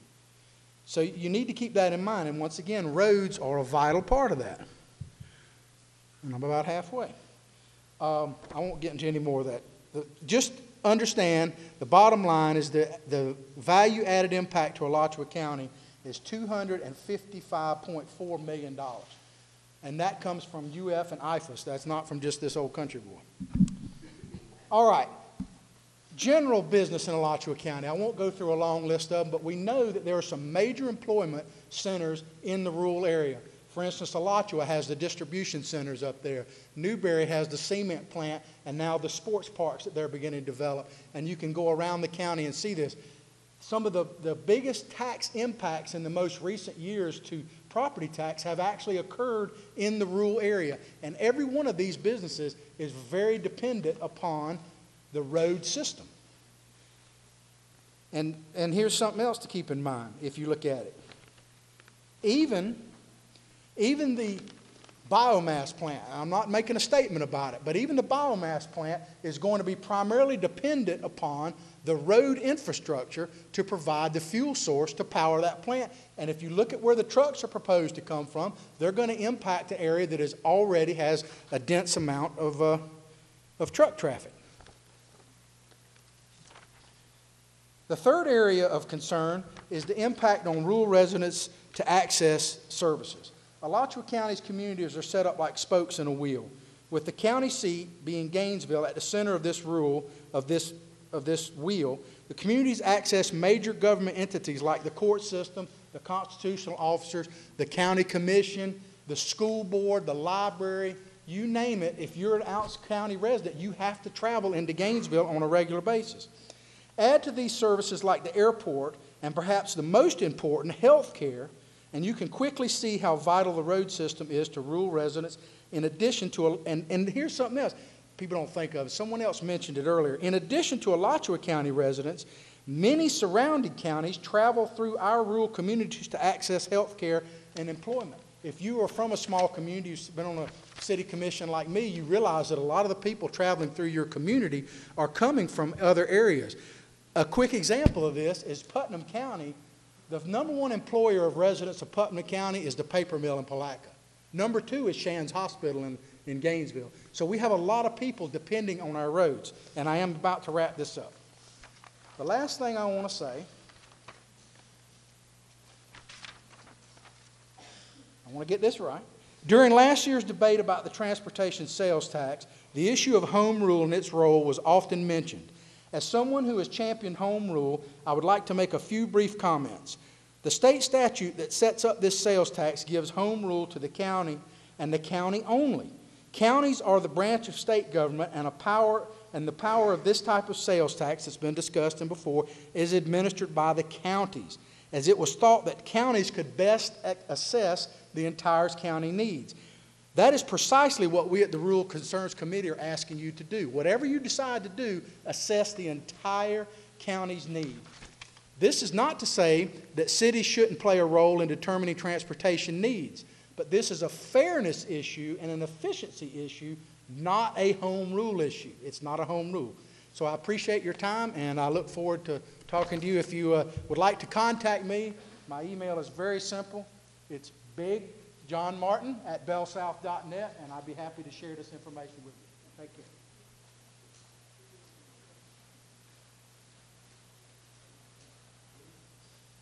We have two more groups. Uh, first up will be the Sierra Club. Is there a representative from the Sierra Club? Okay.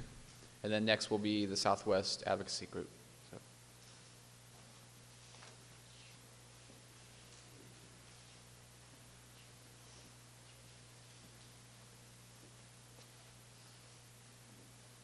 Hi, I'm Dave Wilson. I'm the chair of the Suwannee St. John Sierra Club Group. Uh, our group uh, goes all the way from the Suwannee River to the St. Johns. It encompasses 15 counties. We have 1,700 members in our group, 800 of which live in Alachua County. So our executive board put together a statement. Uh, the Suwannee St. John's Group of Sierra Club supports the concept of a comprehensive transportation plan that includes the, an interconnected grid network of roadways, limited roadway widening, increased rapid transit service, and an enhanced bicycle pedestrian system. In general, low density and cul-de-sac development should be avoided because they do not support mass transit. A multimodal approach will better enable our community to retain its livability despite possible increases in gasoline prices, population pressures, and reductions in federal and state funding for infrastructure. Sidewalks should be required in new developments and given serious consideration when streets are repaved in existing neighborhoods. New developments should be limited to locations that are within a half a mile of existing or planned transit line. The county should also avoid the widening of current roads from two lanes to four lanes if possible. We support the position that the county dedicate 1% of its transportation budget to standalone bicycle and pedestrian projects. On a personal note, let me comment that I've lived in Gainesville 40 years. I taught 35 years in the math department at University of Florida, and I've always lived within three miles of my workplace. And uh, my lasting contribution, I think, I've always biked or walked to work, and I think my lasting contribution to the University of Florida is to have never purchased a parking decal. and it's this livability that's come up on a number of these talks is really important to me. Uh, we've my wife and I and family have traveled all over the place, and we've been to towns uh, where the roads are wide, the, and uh, you know you have en enormous infrastructure spent, and they're very unpleasant. Just one example would be uh, in San Francisco last year. We drove from San Francisco to Chico to my cousin's retirement, and you're dealing with a freeway, which is not free, uh, but it's 10 lanes wide. Do you have people zinging in and out of you all over the place? Gainesville is so pleasant. I've now tried to take my uh, one person tasks of going to the bank, the post office, the market downtown, to do that on my bike. And it, it's a very enjoyable experience, and I really think that uh, Gainesville has a lot to offer in these ways. And we would hope that you would keep this kind of uh, opportunity going. I think it really makes a difference. A couple of people have commented about people coming to Gainesville and, and finding it attractive because you do have this opportunity for different choices. You don't have to necessarily drive to work, depending on your choice of living space. So, um, thank you very much.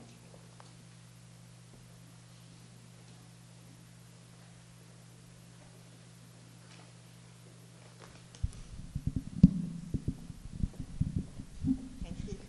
That's good. Good evening.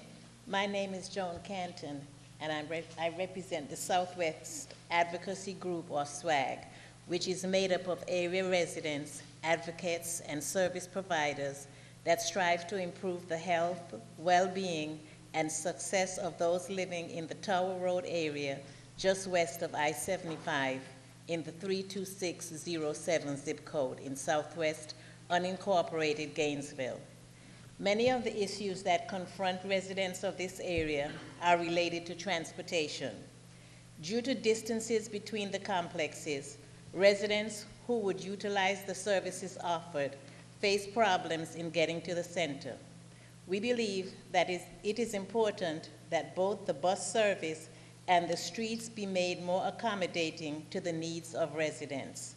In order to accomplish this, it is important that the total multimodal system be informed of the unique needs of our area. We are therefore requesting that you consider the following. The opening of Southwest 8th Avenue will make it easier for residents to be able to utilize our services. We are also asking that you keep in mind the importance of installing sidewalks on the, on the north side of Southwest 24th Avenue and the completion of sidewalks on the south side of Southwest 24th Avenue from Portofino to the overpa- overpass of I-75. At present, there is a safety issue for residents who must walk over the bridge to connect with buses on 62nd Boulevard. Therefore, we, we request that a safety buffer be considered, such as the ones on 23rd Avenue near Santa Fe Community College and the 13th Street overpass. Many families find it necessary to use this bridge, and the dangers of walking over it with strollers and small children are obvious. We further request that this bridge be lighted as many residents work a late shift and find it necessary to cross it late at night and early mornings when the number 75 bus stops running. With no lighting, they are often not visible to traffic and the danger of bodily harm is greatly increased. We ask that Southwest 8th Avenue not be opened solely as a thoroughfare with vehicles traveling at a high rate of speed as this will threaten both the safety and cohesiveness of residents of both Linton Oaks and Hidden Oaks Mobile Home Park. The constant movement of cars through these neighborhoods will endanger children riding bikes or walking and playing in the area.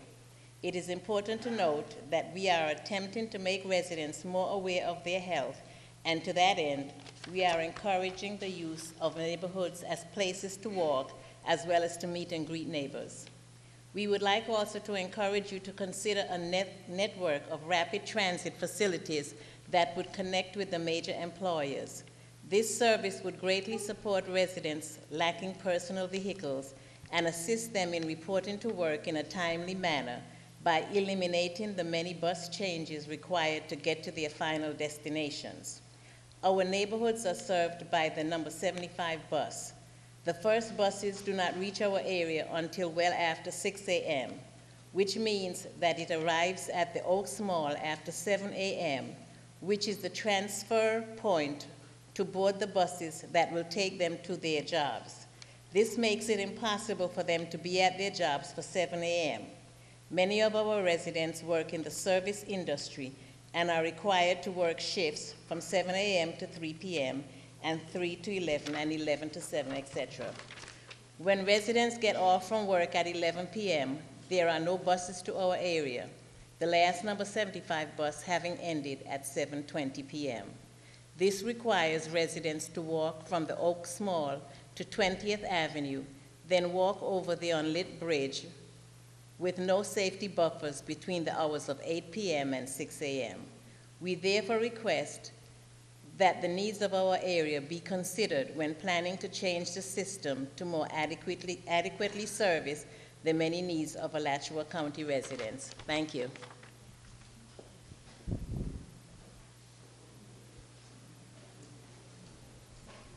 Thank you to all the speakers who took time to be here this evening.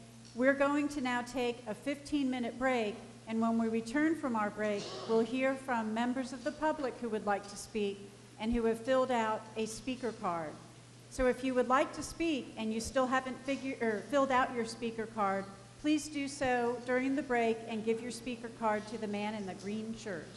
So we'll reconvene at 8:32. Great, thank you. Good break.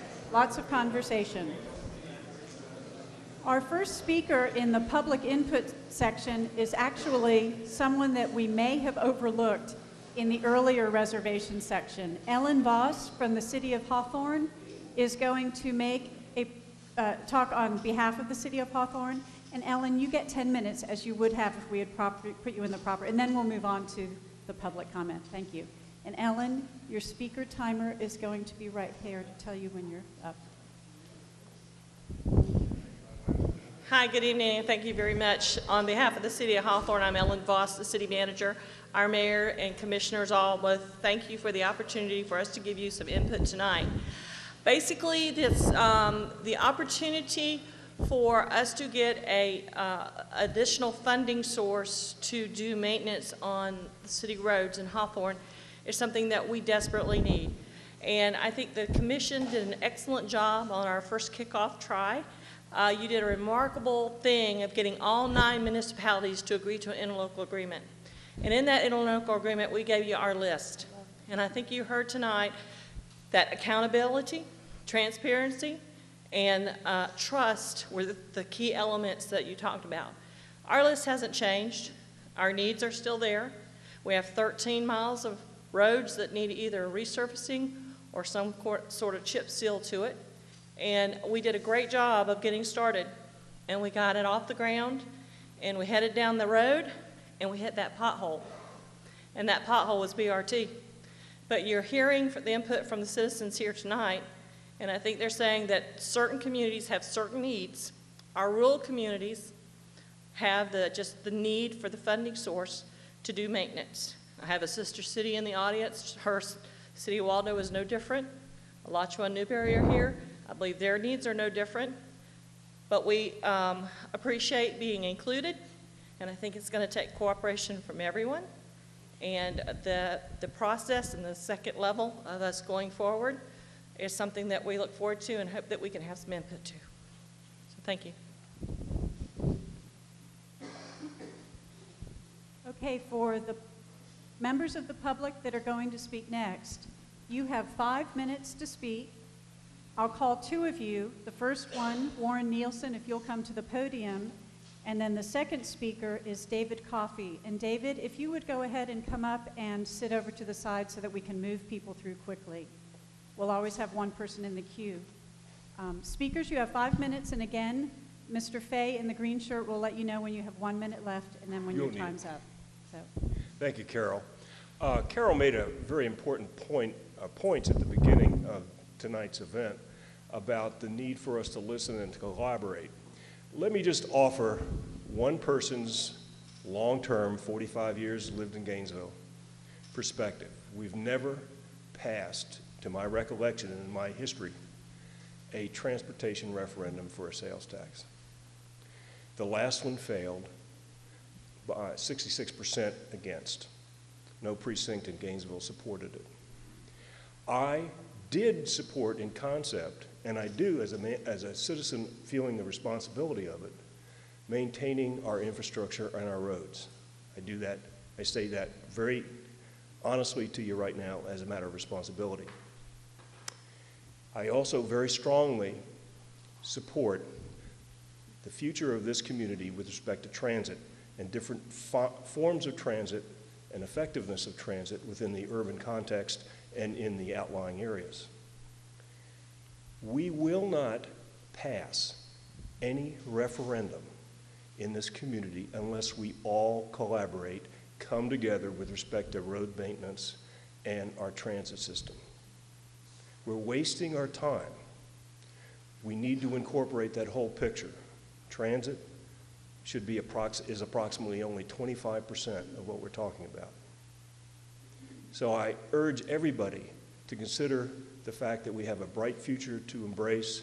Let's not waste our time. Let's come away from this working hard to fine polish the details and come up with a really dynamic proposal, get the citizens behind it, and let's pass this process. Thank you. Fred Pratt, if you would join the speaker's queue where Mr. Coffey was just sitting. Is Fred Pratt here? Oh, hi, Fred Pratt.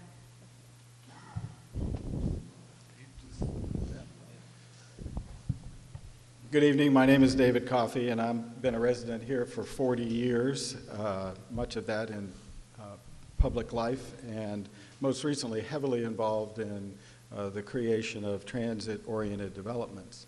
And I have every reason to believe that I will continue to be here until the day when my brood of children and ever-expanding grandchildren say to me, Dad, we're taking the keys away. And at that point, I don't want to be stuck, as the term we've been using here this evening. And it's because of that that I am here this evening speaking. And you've asked, well, what is it that people would like for their transportation? What kind of place would they like to live and work in? And then what's the most important steps for uh, achieving what they like, what they want? Ah, I've already messed this up. And to answer that question, I think we have to look at, well, who are the people? And if you look nationwide, you see that by far the largest segment of our population is Generation Y, the young ones, my, son, my children and grandchildren, and the baby boomers, of which I am a member. And if you look at Florida, it is still by far the two largest segments of our society. And in Gainesville, in particular, Generation Y is likely to be even larger. Well, what are the home builders saying? In this article from Builders Magazine, it says, Hear them roar. The millennials, that's Generation Y, make up almost a third of the U.S. population, and they will fundamentally change how you do business, speaking to the home builders. And then Wall Street Journal reports that uh, at a National Association of Home Builders uh, convention, that here's what Generation Y does not want. They do not want formal living rooms, soaker bathtubs, and the dependence on a car.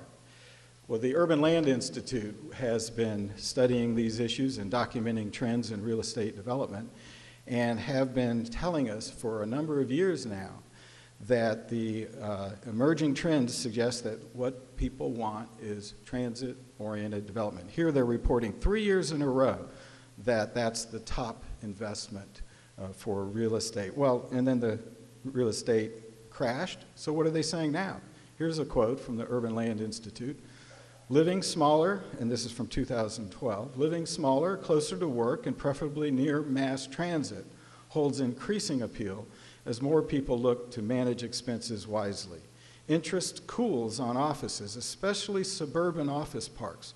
More companies concentrate in urban districts where sought after Generation Y talent wants to locate in 24 hour environments. And then this year, the large Generation Y demographic cohort orients away from the suburbs to more urban lifestyles, and these young adults willingly rent shoebox sized apartment units as long as neighborhoods have enticing amenities with access to mass transit.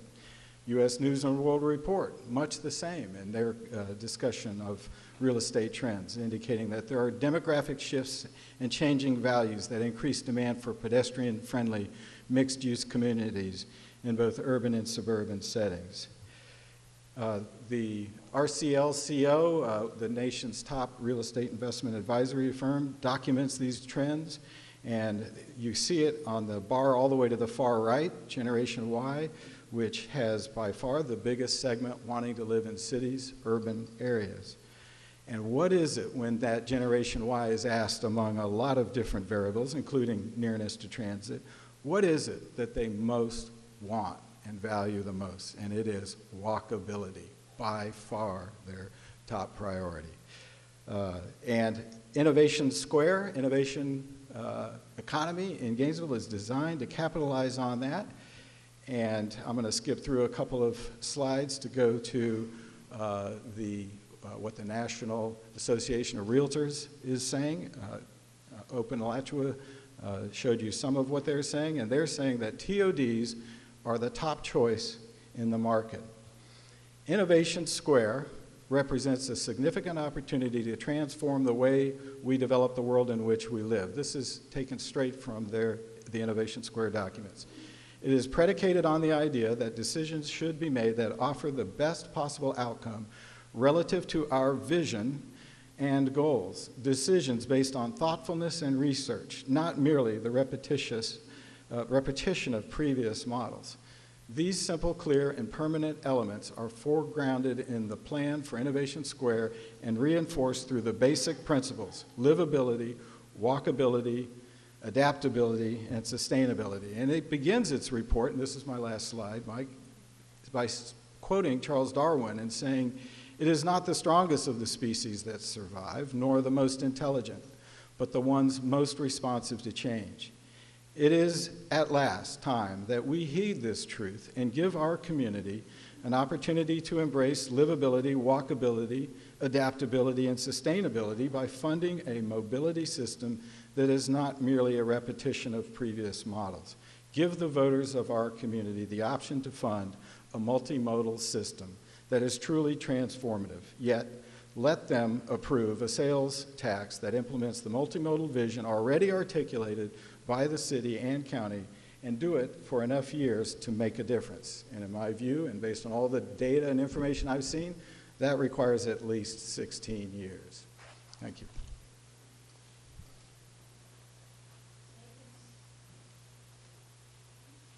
Nathan Scope, if you would take the seat in the queue.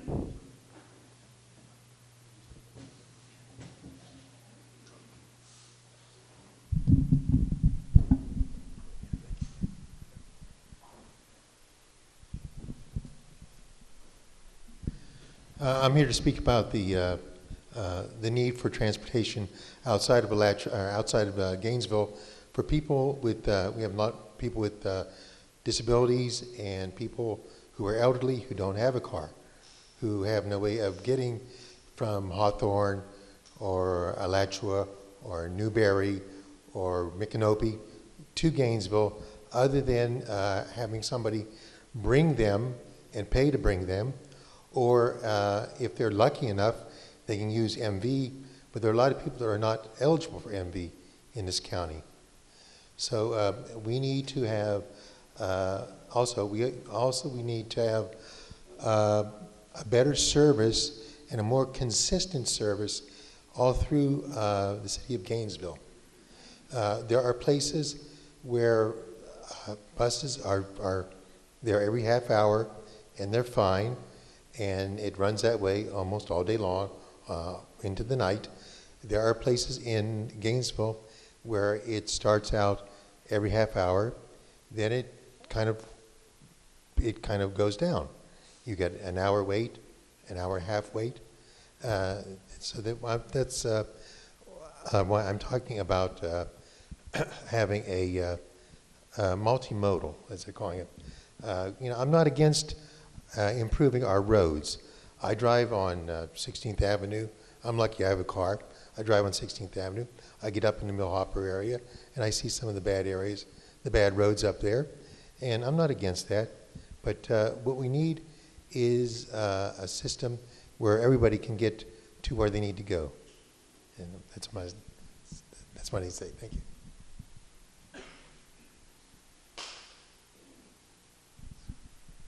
Sabrina Newman, if you would take the queue seat. Is Sabrina? Oh,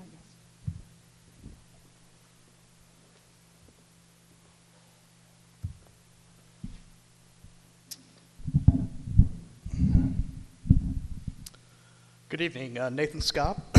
Just wanted to uh, remark that tonight marks the beginning of an open discussion about the future transportation needs of Alachua County. The guiding principles should be fix our roads and restoring the public trust and confidence in local government. How our roads got into such a state of disrepair is a completely separate matter that reflects poorly upon our elected officials and the manner in which they've misappropriated taxpayer money.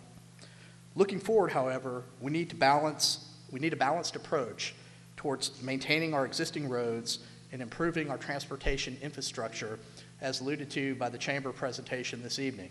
Their four year tax proposal is a proposal that is worthy of consideration, but any proposal beyond that is at their own peril. As reported in the Gainesville Sun on April 4th, Gainesville's plan favors spending over $80 million on BRT over repairing the roads, and also favors spending nearly $80 million for a downtown streetcar over improving the existing headways for the existing bus service in East Gainesville. Commissioner Hawkins, during his presentation tonight, said that we need to move forward with these initiatives in a cooperative manner. Based on the Gainesville Sun article, however, this seems to be preordained. And this preordained notion seems to be created, uh, predicated upon creating an artificial demand to support and justify pushing us towards their own preferred modes of special interest transportation, such as bus rapid transit and trolleys. In turn, Mayor Lowe on the campaign trail talks about being the only candidate who proposed a dedicated funding source for these projects. Let's be honest, Mayor Lowe. Funding for the city's discretionary expenditures requires another tax. And simply put, the citizens of Alachua County do not trust our elected officials to spend their money in a fiscally responsible manner. That's been proven time and time again.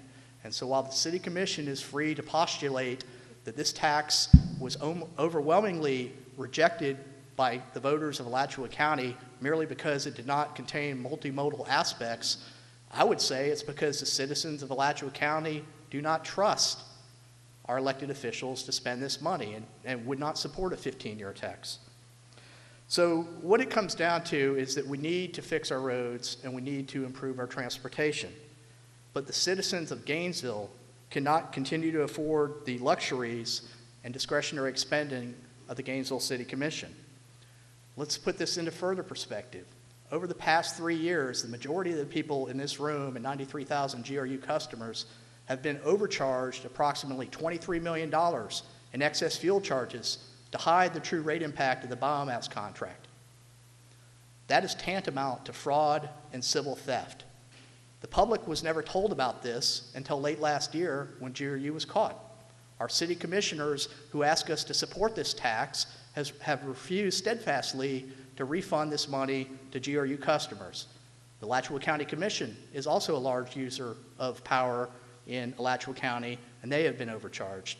And I know that uh, Chair Byerly has lamented in the past about last year's budget not having the money to fund social services, which are a worthy cause. But for me, if the county commission's not going to ask GRU to return their overcharges and yet look to me to dip into my pocket and tax me so you can support your budget, I don't have a lot of sympathy for that. Next, let's talk about the biomass contract. $3.1 billion over the next 30 years. This project has nothing to do with natural gas prices, has nothing to do with the economy. It has everything to do with failure to mitigate risk prior to entering into the contract. Had they had firm contracts in place to sell this overpriced electricity at $130 per megawatt hour, we would not be having this discussion. But the fact remains is the people in Alachua County are struggling to pay their bills, to pay their mortgage, to put food on the table. And yet we're asking them now to approve an initiative in 2014 and to say, trust us spending your money. And so, in closing, I would support, if I were inclined to vote for something that would improve our roads, I would not support a tax in duration of four years. I think that's adequate time to demonstrate and restore the trust that you can repair our roads with the money collected. And finally, any tax that uh, supports or favors multimodal transportation, like bus rapid transit or trolleys, over fixing the roads, I think is dead on arrival. Thank you. Todd Chase, if you'll take the speaker's queue.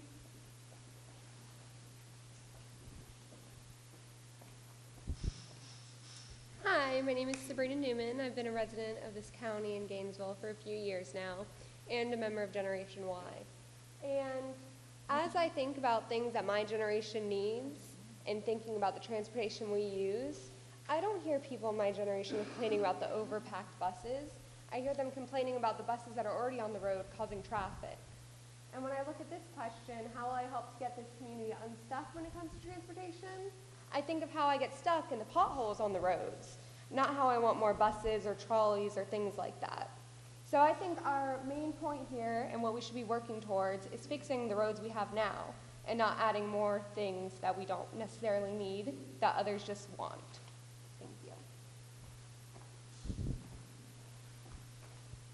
Lori Newsom, if you would take the queue seat.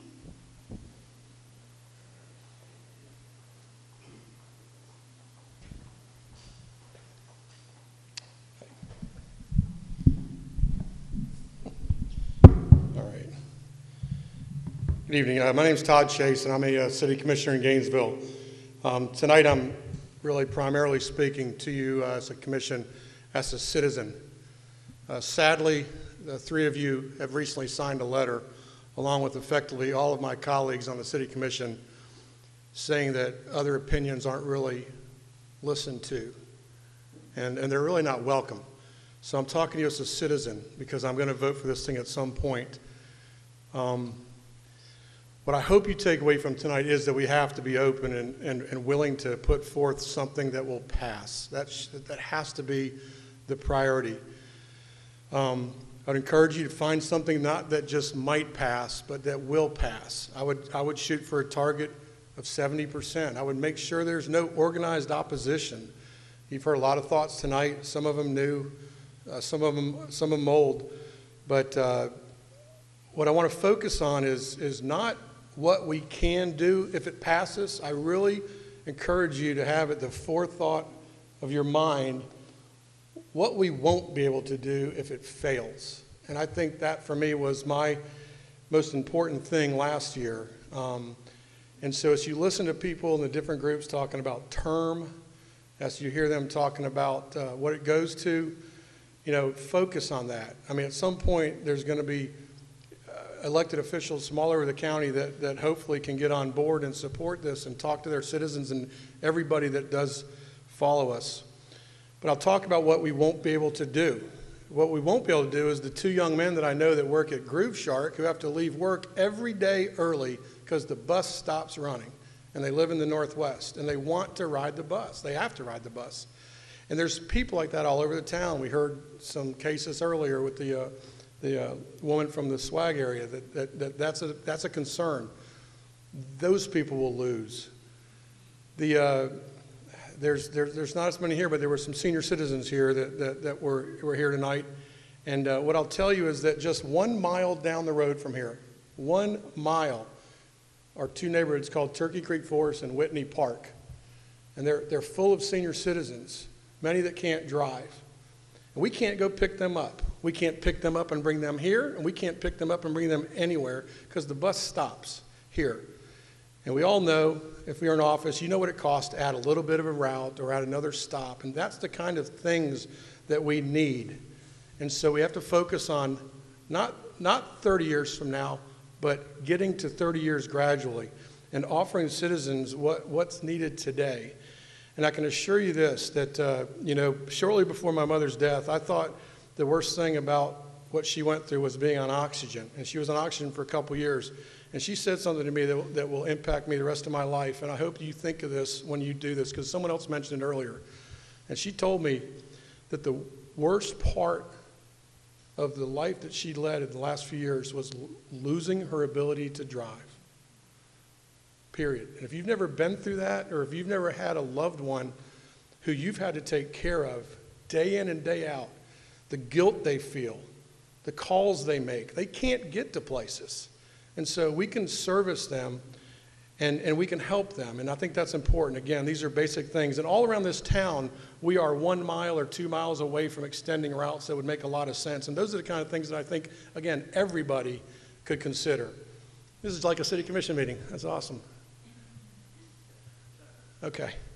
Um, so, again, I just hope you can stay open and, and, again, focus on what will pass today and, and what can pass and then what we can prove to people in the future that they can, they, they can trust their, all of us and, and, and the county commission in particular. I mean, you're in charge of this because this is your, this is your area that you're, you're responsible for. And so uh, surely we'll work together.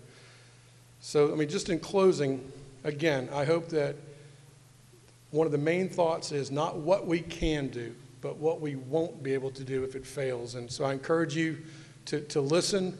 I encourage you that if you don't feel the way that, that, you, that you feel like when I started off tonight, because I got to be honest with you, I'm struggling with reading that. I really am. Uh, it's, it's, it's just one of the saddest things I've, I've, I've read or seen since I've been in office, and I, I know that you're better than that. So I hope you will listen to my opinions. I hope you'll listen to the opinions of everybody here. And, and I look forward to supporting something that we can collectively pass together. Thank you. Mary Frances Phelps Donali.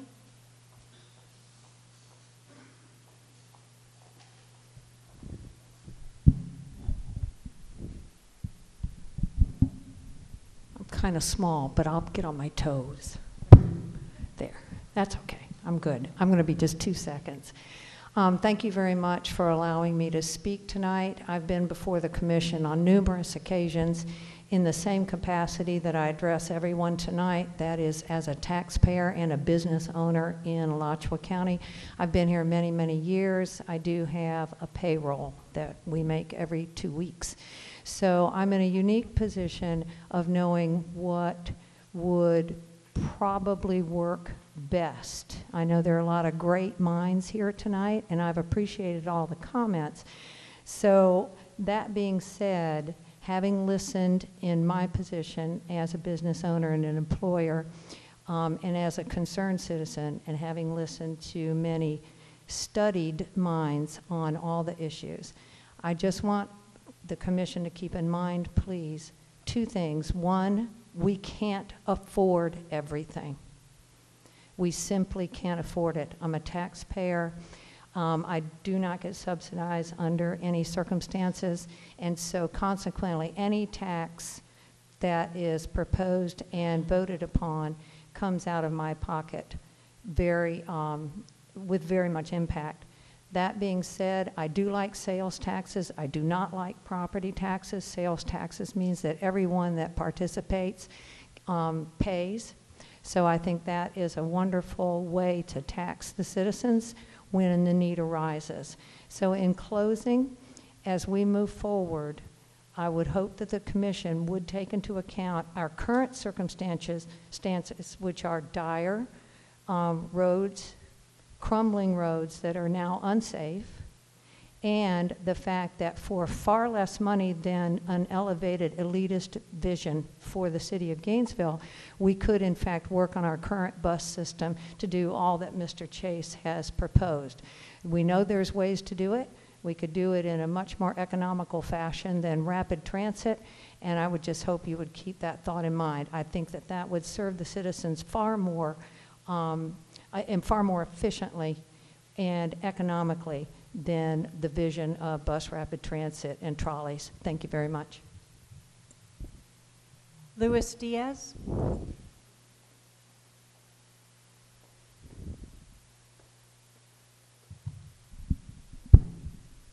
Hello, I'm Mary Frances Foles Donahue. I'm the president of the Amalgamated Transit Union Local 1579. We represent uh, the bus drivers, the mechanics, maintenance workers, vehicle service attendants, clerks, customer service agents, and administrative personnel of the Gainesville Regional Transit System.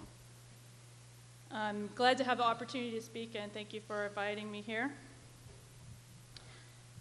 Um, what I'd like to share with you mostly is not necessarily official policy of ATU. We're working on a position paper about the future of Alachua County. So mostly what I'm going to present to you is informational that hopefully will help you make decisions in the future. Um, I'd like to start out by saying that RTS is a success story. It's a publicly operated, efficient, and productive system. Looking statewide, Gainesville actually has some of the highest productivity, if not the highest productivity, in terms of the number of residents of the Gainesville metropolitan area versus the number of passenger trips that we have per year. So when our peak ridership happens, which is the beginning of the fall semester, when UF goes back into session, we actually have a higher daily ridership than Jacksonville Transit, which of course is a much larger metropolitan area. Of course, our transportation is seasonal, so the amount of service we provide in this summer and the amount of ridership that we have shrinks a lot. And uh, what hasn't been mentioned before is this actually impacts working people in a negative way because they often lose their trip home from work uh, when we cut back service in the summer. Okay, so transit is very important to economic development. First of all, good paying civil service jobs have a multiplicative effect throughout the community, which is what transit has provided dignity and a path out of poverty for many of the employees of the transit system. But furthermore, it also provides a path out of poverty for the working families who depend on transportation for access to education, to healthcare, and most importantly, to jobs. So, in a sense, transit becomes a subsidy for minimum wage employers whose wages do not cover the cost of transportation for that employee. So, without the bus actually providing access to those workers, the business, in fact, suffers. At the same time, those workers who don't have access to job opportunities end up on public assistance or end up with serious problems in the home that are caused by poverty. Um, just get to my next point. I scribbled a lot of stuff down here. Um, there's some bad news and some good news for Alachua County. The, the bad news is that a, a lot of transit agencies depend on federal funding, and DC likes to provide a lot of shiny money for capital enhancements, does not like to provide support for operating funds. So that usually has to come from the local community. Alachua County has not been able to provide operating assistance, which is why routes like 75 are underfunded.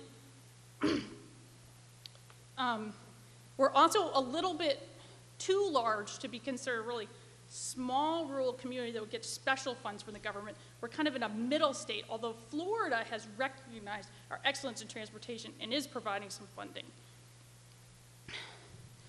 So um, there's, a, there's a few needs that I see personally with my experience in transportation, and I've heard people tell me, um, you know, as I go around the community. One is that we're not providing service intercity in Alachua County. We don't provide service daily to and from the small cities and Gainesville, where a lot of the jobs are. Um, the good news is that an express bus service does not create a shadow paratransit um, requirement. So there are some ways around some of the funding issues that might make it inaccessible.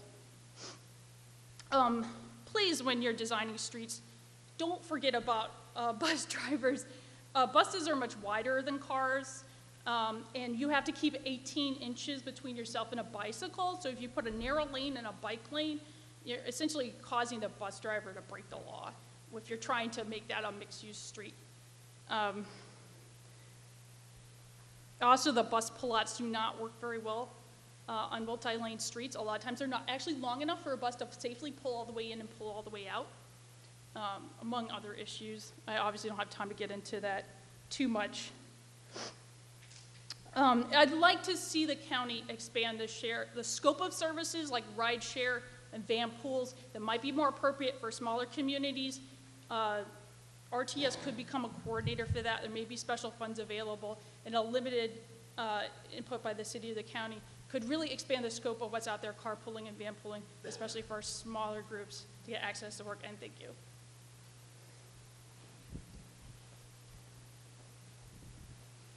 Wilbur Holloway. Um, hello, uh, my name is uh, Luis Diaz. I'm always a little too tall for this thing. Um, I, uh, I'll briefly tell you my, um, my, my views on this point. as, as many of you who may know me know that I'm a big fan of TNDs and, and TNDs, uh, uh, TODs. Um, but the one thing that I want to just express my, my quick, quick viewpoints about this. First of all, as you all know, we, live in a county that employs a lot of people that live outside of our, our county. Um, they tax our roads and they don't pay any, any income for, to service those roads. And unfortunately, we have the gas tax maxed out, so we are, our choices are very limited right now to have come up with fundings. I think personally that the, the defeat of the, the last referendum on, on tax was unfortunate because, of course, we have more, more, more, more costs now because of that delay. Um, but honestly, to tell you the truth, I know that we're trying to find a solution for this. I think that we're if we got to think hard how we're going to pass this referendum now if we want to make it part of transportation. And I'm, I, I, I start to be the pessimistic about the whole issue, but if we didn't pass that, that one first. And the only reason I think it didn't pass is because the city was opposed to it, and we had a lot of uh, advertisement against it. Uh, so a lot of people decided to vote uh, against it, unfortunately.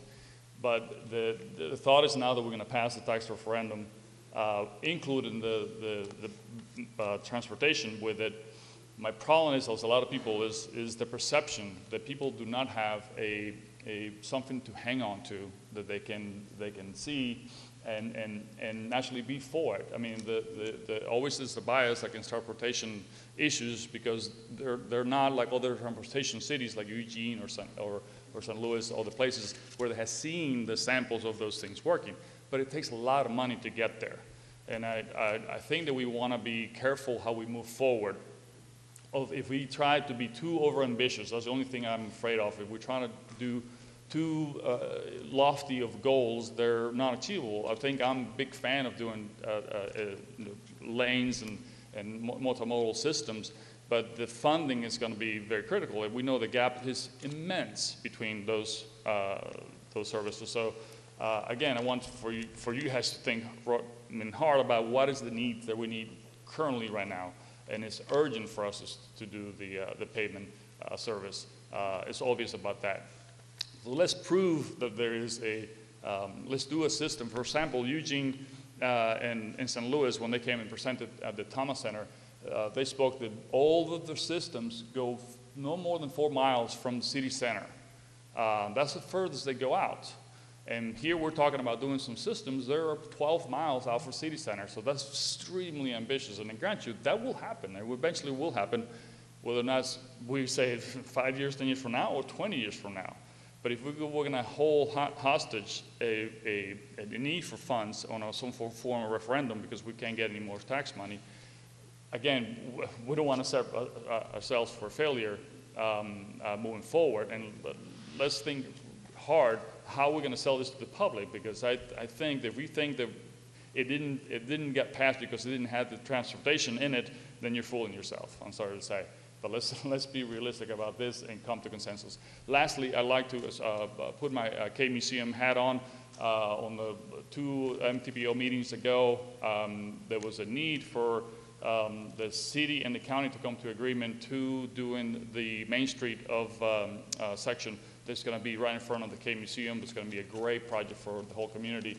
And the county and the city cannot agree on this, that segment of road let's see if it's possible to have the city and the county come up with a consensus where they can come up to the middle ground so we can move forward to a great project for this community and fix Main Street uh, all the way to uh, uh, 16th Boulevard. Thank you.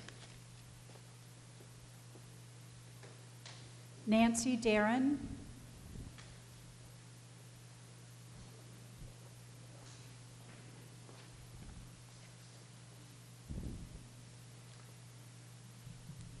Uh, thank you. Uh, getting unstuck involves trust. Uh, I found it interesting that the staff's presentation um, presented several hundred million dollar transit expansion projects and then got around to addressing uh, maintenance of existing infrastructure while our roads fail. Uh, while I'm happy that we are having this discussion, I'm not confident that this, sub, this summit will yield anything other than political cover uh, for the city and county to pursue their overly ambitious goals. Uh, I offer in evidence uh, just recently uh, Commissioner Thomas Hawkins' recent request for $100,000 of taxpayer money to study a downtown trolley system which may not be built for God knows, I don't know, 10 years, 20 years. It's going to be a while uh, while our roads molder. And then another 100 million from the feds to study it further. Uh, I noticed in the staff's presentation uh, that, uh, that they didn't project out beyond 10 or 15 years, uh, and they only address four or five favored multi-use developments. And for this, you're asking me, the citizen and taxpayer, to pay for this while our roads are failing. Uh, what do I, okay, so that was kind of a setting the stage. Our moderator uh, set the stage. So, you know, was all that constructive? I don't know. It set the stage. Goes to trust. Um, what would I like to see from this transportation summit? I, I, I implore you, give me something. Give me a show of faith that you will make fixing existing infrastructure a priority. A show of faith would, would be to assure the citizens and taxpayers that BRT doesn't mean lane narrowing, dedicated bus lanes, or centimillion dollar trolley systems. That's way down the future. There's, I've heard several speakers, say that there, there is a misunderstandings regarding transit. Please assure me, City Commission, County Commission, assure me. I shudder to think of the, the metric tons of CO2 that have been spent clarifying this issue. Why am I still confused? How come no one will tell me you're not going to take, you're not going to take travel lanes away, that you're not going to have express buses? I mean, I, I, I, actually, let me retract that. I am in favor of, of express buses. I think that's a great idea. But to take travel lanes away uh, from, from, from existing traffic with the problems we're having doesn't make any sense. I support, I support express buses and bus turnouts. I support better use of existing services. I support better use and respect for my tax dollar. I support limited tax to be reviewed, to be renewed only if the commissioners demonstrate good stewardship, and I would really like to see trust in my local, uh, local officials restored. Thank you very much.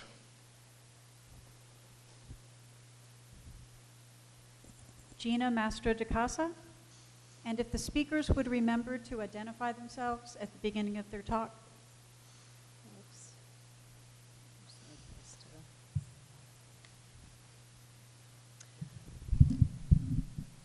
I'm Nancy Darren, a citizen here.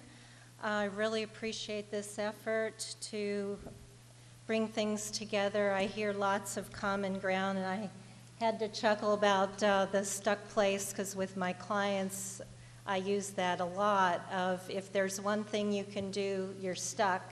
If you're two, you're in a dilemma. Who's going to win and who's going to lose? And nobody wants to be in that, that losing position. And if you're at three to six, you're at choice and you have options that breaks through that dam of the stuck place of a dilemma, which is what it seems like we have been in here. So I'm really appreciative tonight that there are a lot of places of common ground from the things I've heard tonight, and I hope we can keep developing that and move into that three to six place. Our choices range where we're at choice. Um, I think it's critical to keep a variety of options open as we go forward. We're a vibrant, creative community, and we want to protect that.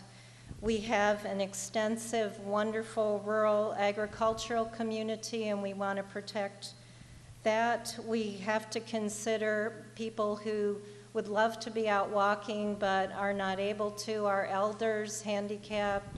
Um, people who live too far away, the, the rural, the poor, all the vulnerable citizens for whom transportation costs are such a major impact.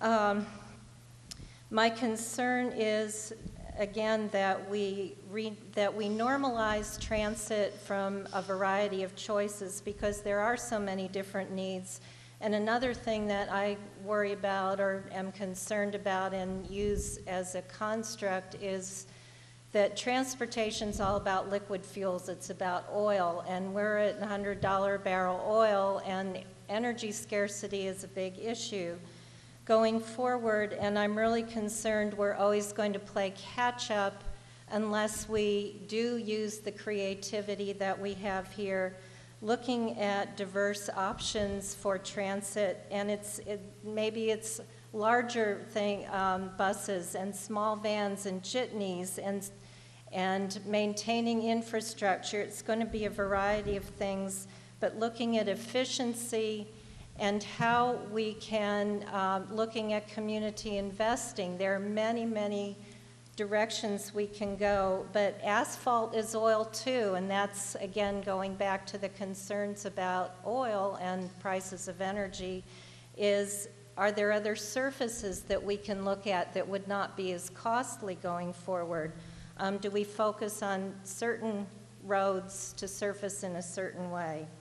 Um, my granny and grandpa lived were rural apple farmers in southern Illinois, and my granny would get on the train in Cobden in the morning and go to the next town and go to the library and go to Woolworths, and then she'd get on the train going the other way.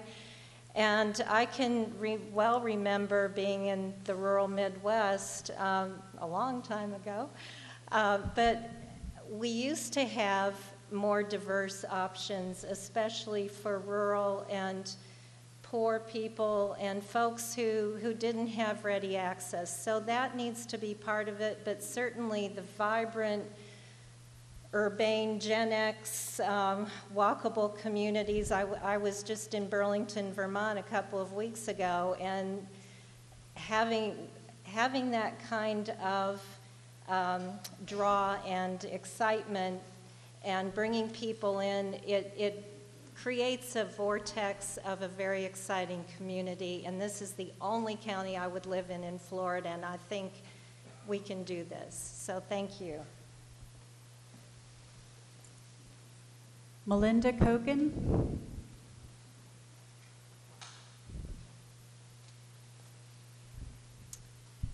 Hi, I'm Gina Mastrodicasa, and thank you very much for everybody being here and sticking with it. I know it's been a long night, so thank you to the County Commission also.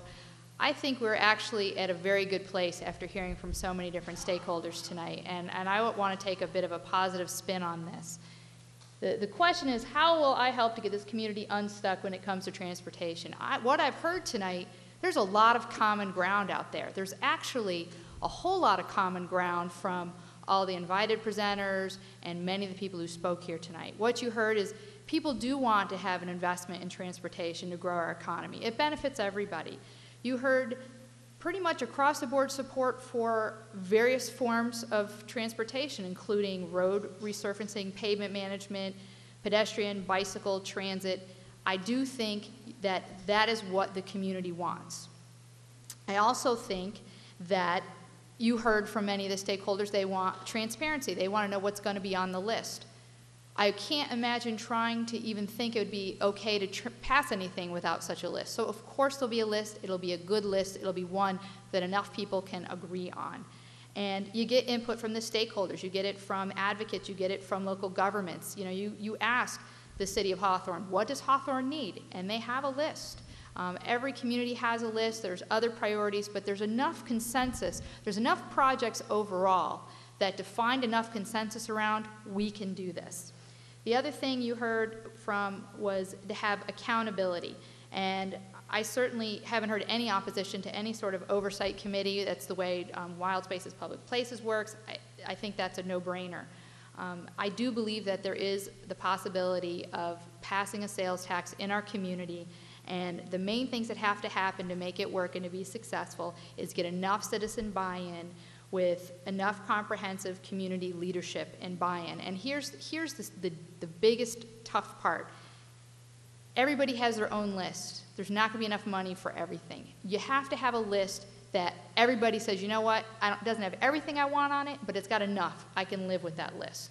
And that includes the business community, that includes environmental community, includes the University of Florida. They have to be at the table. They're the largest employer. They certainly drive a lot of the traffic. Um, the neighborhoods have to be at the table. But there has to be enough consensus on the general list that everybody can say it's good enough, let's make it work. And the final thing I wanted to say was about the length of the, the term for a, a sales tax.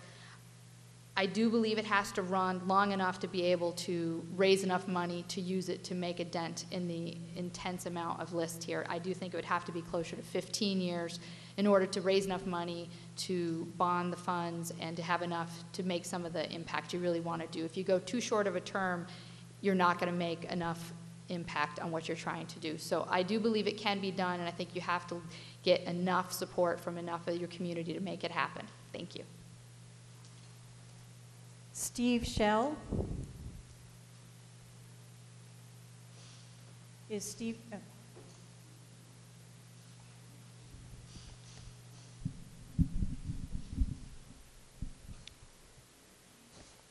Uh, I'm Melinda Koken. I'm a um, bicyclist, belong to Gainesville Cycling Club. I'm on the uh, Citizens Advisory Committee of the MTPO, and I had the um, privilege of being the past president of Historic Gainesville Incorporated about five years ago. And one of the nice things about Historic Gainesville is that uh, one of their first acts was to save the Thomas Center from being torn down in 1972. Probably you don't know that it was threatened, but it was. And um, uh, people like Roy Hunt and Sam Gowan worked diligently to save it, and now it's like the crown jewel of a historic part of Gainesville that um, sort of creates a walkable community and a wonderful place to live. And I guess because of that, I see um, that the city of Gainesville has the possibility of being a showcase. I'm not just the city, but all of Alachua County being a showcase for uh, transportation growth. And I think it can happen by each one of us here committing ourselves to becoming community organizers and to going out and promoting the idea of uh, whatever it takes to get a tax passed to support uh, the infrastructure and and creating uh, the, the kind of transportation system that will really underpin all of Alachua County. Uh, basically, and, and building a smarter city for everyone who lives here. Thank you.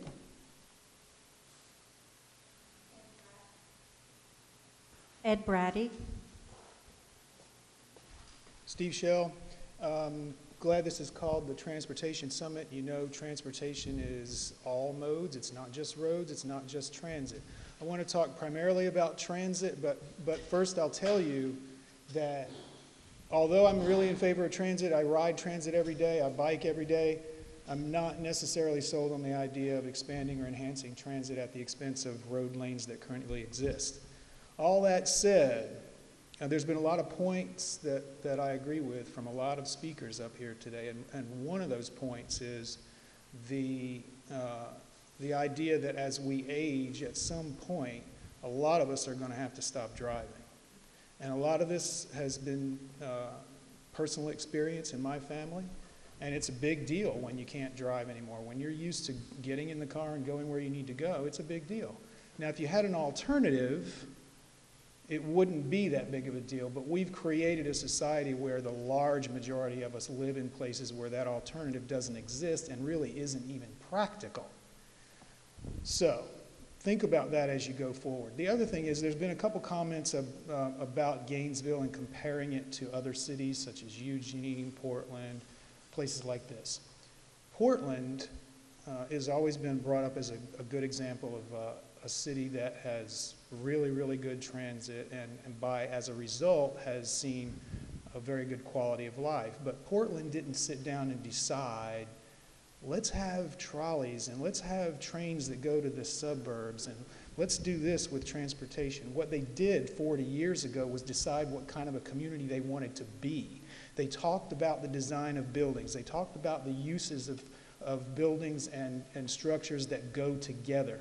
They talked about the amenities they wanted to have in a community, and then they set about building that. And so, what I'm saying is, you can't look at transportation alone. You have to look at it as a part of a big equation that includes things like land use and community design. Um, the final thing I'm going to say concerns transit. Uh, transit, we like to point to transit in Gainesville as being a really major success, and I think it is. That's largely because of UF. More specifically, it's largely because of a decision that students made back in the 1990s that said they would like to pay money to be able to have better transit. Those students, probably the large portion of them, are no longer here. So when you hear someone say that students are transient, think about the decision they made in the 1990s and how it's benefiting this community to this day. The other thing I want to talk about in terms of UF and, and transit is that they're driving it. The city of Gainesville has a portion of it, and whatever the city funds is the parts that Todd Chase talked about when he mentioned workers downtown having to leave work early because the bus stops running. If you live in an area of the city that's, that's frequented by students, you've got wonderful service. You don't even have to think about what time the bus comes. But if you live on Northwest 6th Street, it's going to stop at 7 p.m. and it's only going to run every hour. So you really don't have that kind of an option. One of the staffers, I think earlier today, talked about um, the county's transit system or proposed transit system and the cities and how they should mesh together sort of seamlessly. I don't think there should be two systems to mesh together seamlessly. I think there should be one. There should be one system that's county-wide, not a city part, not a county part. The county, in the past at least 20 years, has never adequately funded transit in the unincorporated urbanized area. Route 75 is a good example. It's just not adequate out there, but there's serious demand. So what I propose, since I have all the county commission here and I have a large portion of the city commission here, is I think you need to have the conversation as you move forward about establishing a transportation authority or transportation district so that you take RTS out from under the city and you don't ask the county to keep funding route whatever, route whatever, but the city and the county get together and have a conversation, find out how this can work, take it to a transit authority or a transit district with a separate funding source so that now it is no longer a difference between city and county. When, when Todd Chase talked about some areas right up the road that we can't service, when you start talking about some of these places and how close they are, then somebody says, oh, well, that's in the county. Oh, well, so we're only talking about the city. Well, that's in the county. Well, if you want a county-wide system, then I think the best way to do it is a transit district or transit authority. So I've talked to some commissioners individually on both sides of the street about this. I've had varying reactions. Some people think I want to kill puppies. But it's, it's something I think you need to have a conversation on. Have that conversation. Thank you. Troy Hart.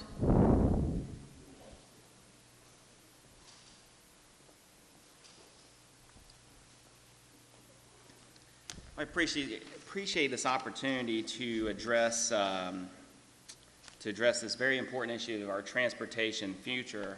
Uh, I think my comments would begin with uh, what I would hope we, there's unanimous agreement among all office holders is that policy should follow preference. In a representative system of government, consensual form of government, what people prefer is where we go with public policy. Um, where people prefer is pretty clear, and the evidence is out there. Most of us express it by we live. We're not, we're not acting against our will in our preference for a low density, uh, more automobile oriented future. Uh, it's what we want. And, uh, and it doesn't mean there's not other options, but it should reflect what most people want. Um, the most comprehensive study of this question of preference, in which the question is actually given to the respondent and they give their answer, showed overwhelming support. It was the 2001 Community Preference Survey by the National Association of Realtors. Thousands were interviewed from all around the country as a representative sample on the question of the setting where people prefer, 52% prefer traditional suburbs, small towns, or a rural environment. That's their preference. 28% prefer a suburban setting with mixed uses. Only 8% express, expressed a preference for a high density central city environment. On the question of density, which has largely been left out of this discussion, 87% signaled that they prefer privacy from neighbors. Only 7% they said they only 7% said they wanted to be at a place that is quote at the center of it all. On the issue of housing, 80% prefer single family detached housing. 8% chose apartments or condominiums as their long-term preference. Even when you drill down on Generation Y, their long-term goals for a majority is single-family homes with a yard. 61% preferred, quote, houses built far apart on larger lots, even if that meant having to drive to get to schools, stores, and restaurants. 37% want houses built close together on small lots. All right. So again, policy should follow preference. Uh, there certainly is a market for the high density transit oriented future, but it's a smaller market. And so any type of transportation long term plans should reflect that preference. Now, I think it's important also that any way going forward should at least be directed. We should try and clear up some myths. The one myth is that livability means high density, compact development, and transit orientation. That's simply not true. The modern suburbs, suburbs that are built are very walkable. I know I've walked a lot of those in the last several weeks, really. But seriously, wherever you go in the country, we have some of the builders right here in this community who are nationally recognized. They build low density suburbs that are walkable, that are pedestrian friendly, and there's no reason to think that we have to have a diminishment of suburban development. It's also a myth um, to claim that it's roads versus transit, and I think that's where perhaps we really need to get back on track. Roads are inherently multimodal. If you want to promote mass transit, folks, fix the roads. If you want to promote pedestrian activity, fix the roads. If you want more people on bicycles, fix the roads. Roads are multimodal by definition. It also shouldn't be cars versus transit, and uh, because again, it should reflect what people want. Um, there's a lot more that really should be said, but I'll sum up by just saying one of the dangers I think we have of getting into is this following this idea of a static transit future rather than a dynamic uh, transit future. There is nothing forward looking about the year 2035 based on fixed routes, fixed schedules set by faceless bureaucrats.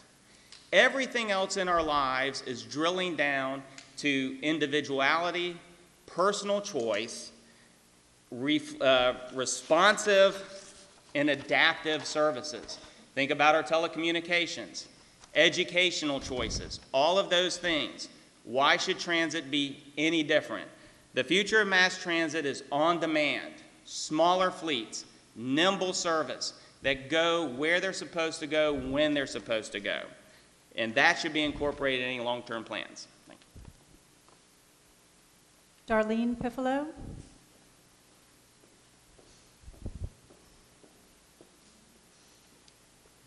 Uh, my name is Troy Hart. Uh, I've been a resident of Alachua County and uh, Gainesville for the past six years.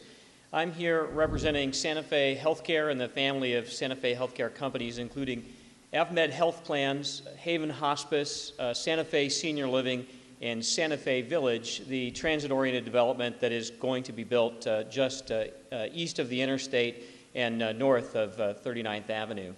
And uh, many of you may know of Santa Fe already. We have a 40-year history in this community. got our start as Alachua General Hospital. If we did a show of hands, my guess is that many of you, if not most of you, have received treatment there, and maybe some of you were born there even. Yeah, someone born there. Uh, and, and change is uh, a fact of life because now Alachua General Hospital is Innovation Square, right? So um, we know that the issues and challenges that have brought us to this place in our community are not going to be solved by the solutions that were applicable 10, 20, and 30 years ago. We're going to have to do things differently. Um, Santa Fe Healthcare is committed to Gainesville and to Alachua County we have over 850 employees that uh, reside in Alachua County. We have over 2,000 employees throughout the state. Uh, and frankly, because of the nature of our business, we could locate our business anywhere now. Um, we've chosen to remain a part of this county and, and to maintain our headquarters here, even though we serve people throughout the, the entire state. And I think it's fair to say, with the interaction that I have with the employees that uh, I work with directly, and, uh, and just generally from the giving nature of our organization, that both our organization and our employees love this community and we serve this community, and we're committed to making a difference here uh, every day. Um, I know that as I speak with people and, and as I work with our charitable organizations, as we give back to the community, we're involved in virtually every civic organization, every charitable organization, both corporately and by the members of our employee group. Um, we have been working for years to envision the future of this campus I talked about, Santa Fe Village. And, and our motive is not a profit making motive, it's really to make a community asset for Alachua County. Um, we've participated um, with uh, the development of the transit orientation plan, and uh, we are fully in line with the growth plan of both the county and the city. Uh, we've, um, we have changed our plan as the county's growth plan has changed over time, literally investing millions of dollars into the planning of this new asset for our community. And, uh, and, and our commitment to that development is, is a 30 year commitment, it's long term. Central to our plan has been this new balanced transportation strategy that has been both Gainesville and Alachua counties' focus for the last several years. And there are a couple key elements, we've talked about all of them tonight. It includes roads, of course. It includes the maintenance of our existing infrastructure, of course. And it also includes an increased leveraging of transit, including rapid transit, that connects um, Gainesville and Alachua counties' largest employers uh, to the rest of our community, which we think is just critical. Um, and as we're speaking right now, and, uh, we are working with county staff to envision that development going forward, predicated upon those plans which have been laid. And so, what we need organizationally, and what I think all of the businesses that are located in our great community need, is a certainty, and, and I might even call it bankable certainty or predictable certainty as we move forward with this development and try and leverage, as, just as, as the county is trying to leverage and as the city is trying to leverage those dollars uh, to maximize our transportation value, we need to be able to, to leverage the commitment on both the county and the city's part as we move forward to finance this project. We're willing and able through this project as it moves forward to contribute up to $17 million in multimodal transportation fees to the enhancement of our transportation system. As I know our fellow developments at Celebration Point and, uh, and Spring Hill uh, and others as they come forward will contribute and leverage those resources into the future. And last, uh, what we would ask of the commission and of the city is that our leaders take a long term approach and make a commitment to developing and funding a unified and effective transportation plan and policy. And that beyond the development of that, that they have the, the fortitude to see the plan into fruition so that we can have the confidence in making that investment as we go forward. And last, on a personal note, I would just say I have three lovely daughters, two of whom have told me that they'll never live in a city that doesn't have effective mass transit. So, for my personal benefit, if we could get this done so I could have my daughters back, I'd really appreciate that. So, thank you.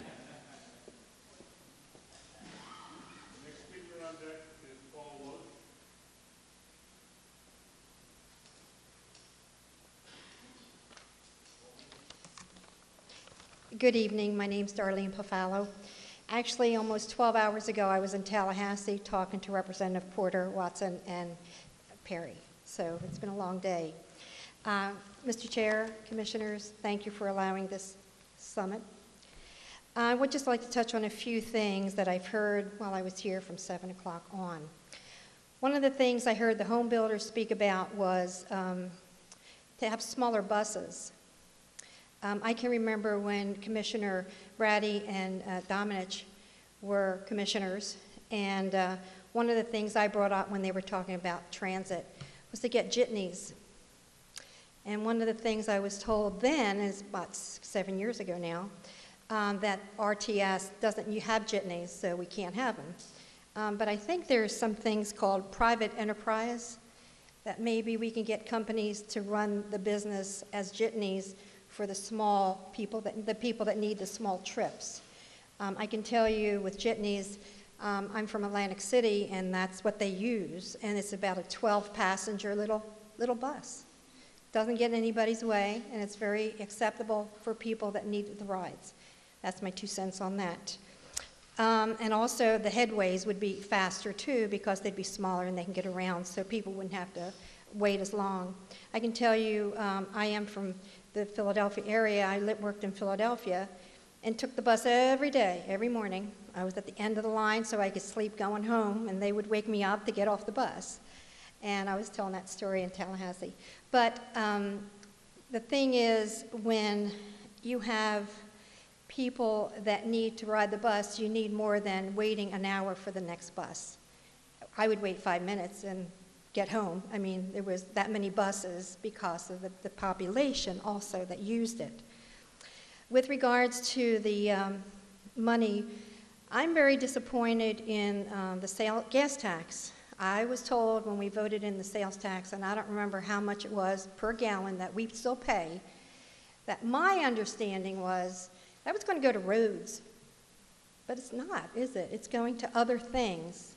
And I think that's where the mistrust comes when you're teach, you're telling us to vote for something because it's really good.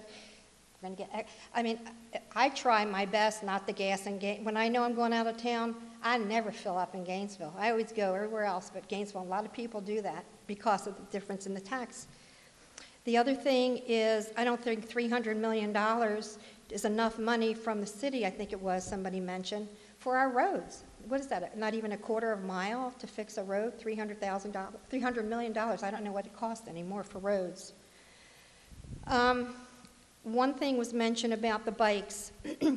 I can remember 15 years ago when the comprehensive land use plan was coming into effect, everybody in the county was talking about Portland, Oregon. That was the number one city that everybody wanted to be like. Portland, Oregon. Well, you should Google it a little bit more now. It was stated that we're above Portland, Oregon for bikes and all that, but you should also look in Portland, Oregon because they're losing population and closing schools because have the regulations that they have. Go a little bit further on what you're talking about on that because if you want to lose population, follow Portland, Oregon, and you will. And um, two more little things. Uh, about four years ago, I was in uh, Houston, Texas, in a conference talking about transportation. And one of the things I had was a light bulb that went on. And I had, I had to call the gentleman because he was in Washington, D.C. He was a National Transportation Organization in Washington, D.C. And he said, and it made a lot of sense people are poor because of mass transit because the jobs are not where the buses are. The jobs are outside of where the buses go. And more people make better money when they have a car to go to work. Just think about that. That's something to ponder because it, it really, when you think about it, it's really, really true. Um, and thank you, uh, Mr. Brady, wherever he is. I've been a realtor. I'm not representing the realtors, but I've been a realtor this year for 40 years. And Commissioner Hawkins, I appreciate what you said about the Common Ground magazine that you get. But I can tell you from being out there, kicking bricks, driving people around in my car, hitting all these bumps, that 80% of the people do not want to live in close quarters. They want the backyard, they want the fenced yard for their dog and their children. And the nat- what Mr. Brady said is 100% true. So I just have one thing to close on. Um, transportation, fix our roads, period. If I have a leaky roof, do I fix the leak or do I get new carpeting? Thank you.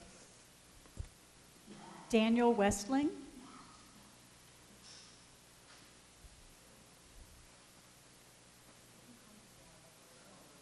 You're going to sit. You, you go sit.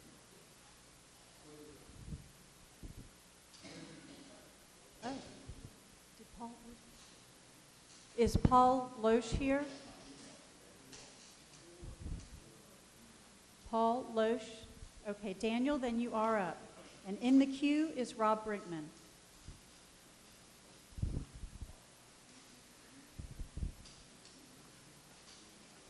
Um, I'd like to thank everybody for taking the time uh, to come out, and um, hope everybody's got an open mind. Um, I think there is a lot of things for agreement. Um, I've lived um, in Gaines. I graduated about 15 years ago. I've lived on University Avenue about the same time. This is the only second time I've ever come to any meetings and spoken. Um, the last one was on 8th Avenue. Um, I'm kind of concerned about the BRT uh, for a bunch of different reasons. Uh, from what I hear, um, in order to get federal funds, you'd have to have uh, dedicated lanes. Um, but I'm going to get to that in a minute, I guess. One of the things I think about, just trying to speak from the heart, is the last thing that Darlene said. If you've got a train, it's got to have a track to get to the destination down there. All right. From what I understand, we're half a billion dollars behind in our road repair. So no matter what mode we use, um, if, if roads are truly multimodal, um, that track needs to be sound to get us to where we want to go as a community. And that's one thing that if we are going to have a new um, revenue source, uh, I don't know that it could be done. I know that the referendum just, you know, failed recently. I know there's a dedicated group on both sides who, you know, they want the money um, to go to a certain thing. But if, if we're going to have that new revenue source, would it be available to dedicate, you know, some of the old money that was already there, already being taxed, to say this can go towards these modes, or this can go towards the tracks, you know, to keep the tracks sound for everybody to use.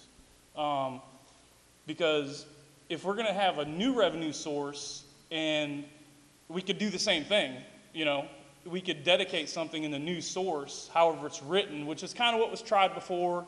Um, it failed. Uh, a lot of it, I think, has to do with voter turnout. Everybody, there's a lot of smart people here tonight. And when I mean smart, I'm, I'm talking about intelligent people and people that care, you know. But a lot, a lot of people show up to vote. And uh, if we look at what's happened over the last 20 years, um, you know, that I've been living here, um, I've seen some uh, really good things that we've done with our roads, but if you look at that number, the math just doesn't lie. I mean, that's a lot of money that we're already in the hole. Um, and somebody had a Darwin quote, you know, they were talking about adapting to change. Well, math doesn't change. You know, the black and white of it is that you have a certain percentage that, you know, a certain number that you're either going to be in the black or the white, or I should say the black or the red. And we are deep in the red, really, in, in my opinion, compared to the new things that we are talking about spending money on in the new revenue. So I, I just personally think that there should be a percentage of that that would go to keeping the track there for everybody to use, no matter if they're on, I don't know what you call those things, you know, the old timers that go back and forth that doesn't actually have a motor in it, whatever it is that you choose you know, as your source. And I said last time when I was a student, I rode my bike every day. Um, I'm basically a blue collar worker now, so my hours are about 10 hours a day. Um, and I live about 10 miles from work, so I mean, there's the math again. It's kind of hard for me to bike nowadays, and I'm getting a little older too. My knees are a little shot, but um, that, that's just one of the things that I hope people keep an open mind is that you know, we are a community, people talk about that, and let's try and think of it as a, as a track here and not get too far ahead of ourselves in a new big project, you know, and jump into it. Uh, maybe uh, I, I, had a conversation earlier today where I was talking about instead of dump, jumping in head first without checking the depth, let's put, you know, a toe in the water or an ankle in the water maybe split this thing up too as far as the revenue. I know that's one of the battles that was going on when that referendum failed is that there was only a certain amount of money by law from the state of Florida that we could, you know, use for transportation in, in different ways. And that's, I think, where a lot of the friction came, and that's what brought us to where we are right now. So um, I, I, guess I'll just wrap up and say that uh, hopefully, you know, people keep an open mind about the track and maybe the percentages we could maybe dedicate, which you might say it failed last time, but if people aren't so partisan, and by the way, I'm an equal opportunity hater. I hate the Democrats and the Republicans equally. Not really hate, I, I shouldn't use that word, but Um, I don't, I don't like partisanship. Um, people have strong opinions, and I think that's what makes the country great. So, thanks. Matt Surrency?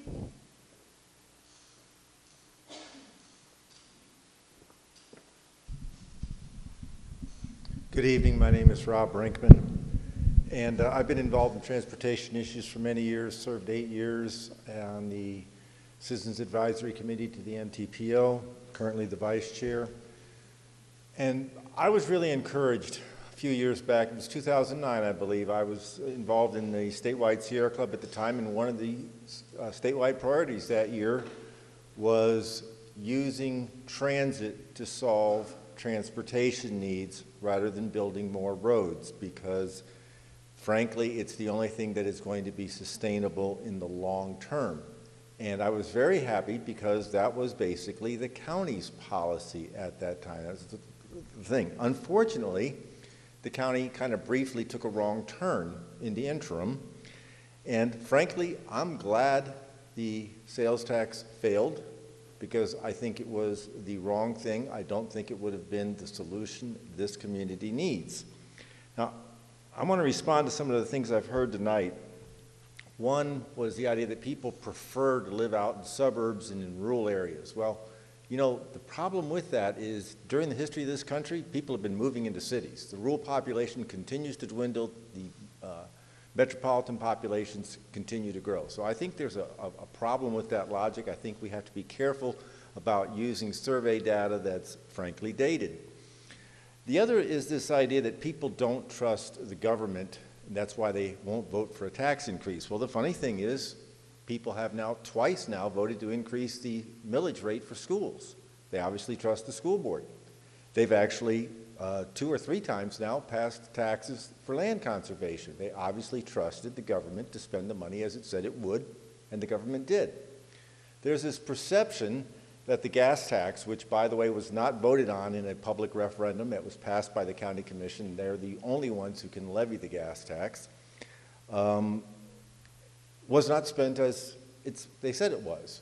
Well, I think people had an idea of what they thought the gas tax should be spent for, but that's not what the gas tax is supposed to be spent for. It was, in fact, every penny of it spent as the law requires, because you don't spend money, government money, in violation of the law without getting yourself in a lot of trouble.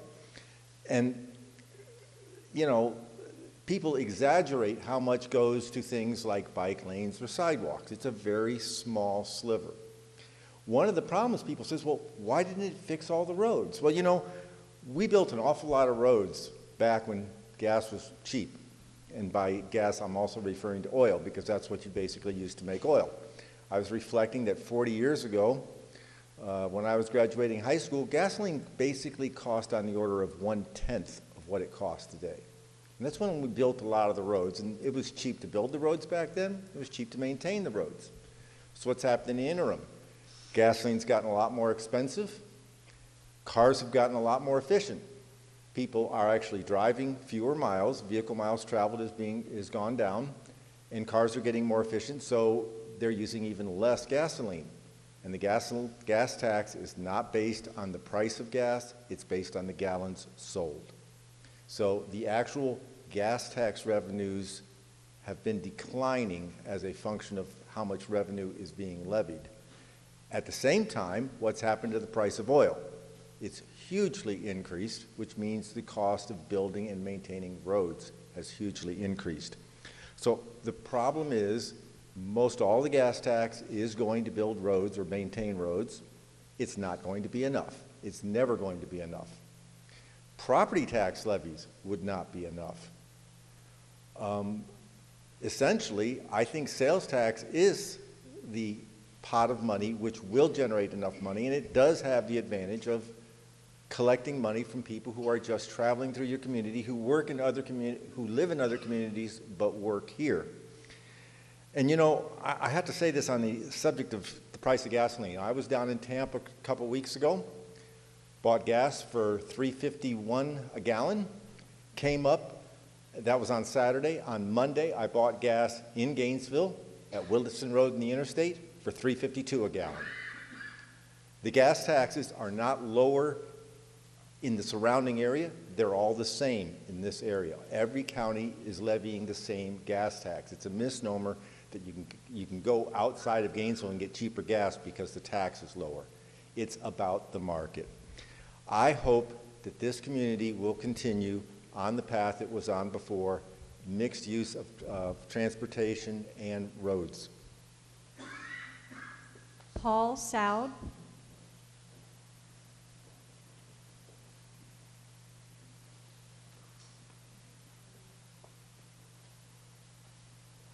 Good evening. I'm Matt Surrency. I'm the mayor of the city of Hawthorne and also the president of the Alachua County League of Cities. Uh, thank you all for being here, and I apologize about being underdressed tonight. I left straight from work, went to senior night at the high school baseball field, and then came, came straight here. So I apologize about being late.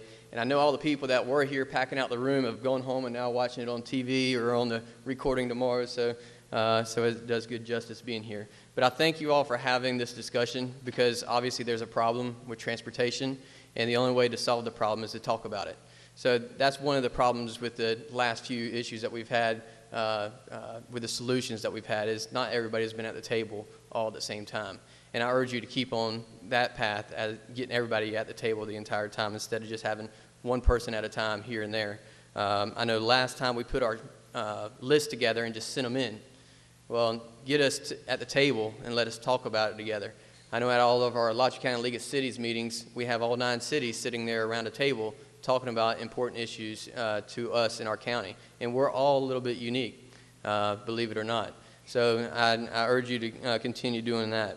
Um, and, and, the, and the part being about the plans, uh, each city is a little bit different. We all know what's important to our cities. Uh, what issues that we have and what is our priority as far as road paving.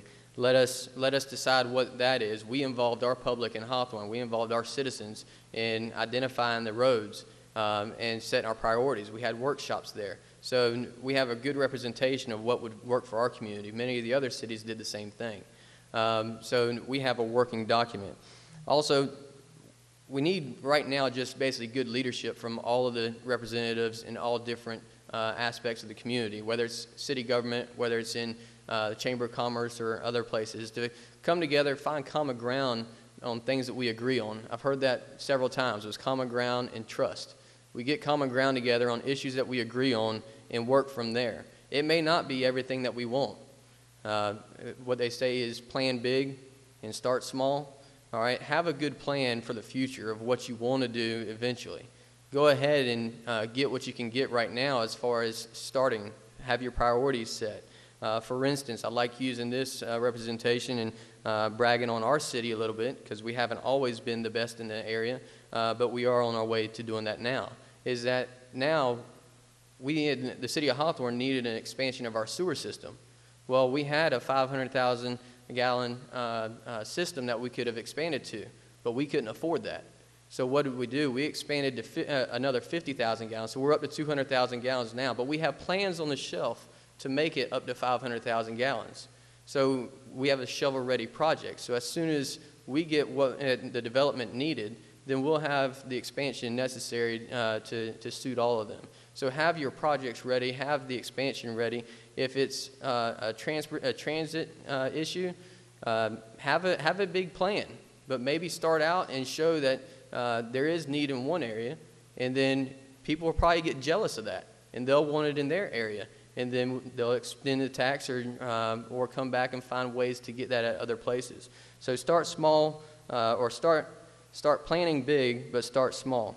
Uh, and I invite you to uh, keep, keep us engaged keep everybody engaged. This is nice to have everybody talking here and to have everybody's opinions. This is obviously a passionate issue and a local issue uh, for all of the communities. So I thank you again for having us here. Uh, on behalf of all the cities uh, in the county, we all want to be involved in the uh, resolution of this. So thank you again uh, for having me and all the citizens here as well. Thank you.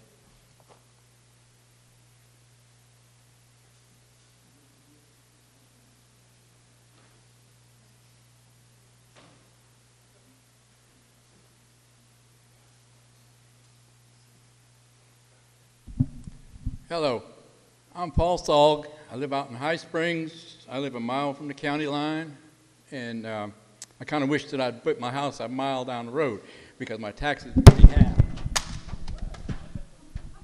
But I can't do that. I've been out there since '85, and um, I don't know. I've been to the commission meetings quite a bit. Some of these people know me. In 2003, they put it on the ballot, and the voters voted that they did not want a five cent gas tax.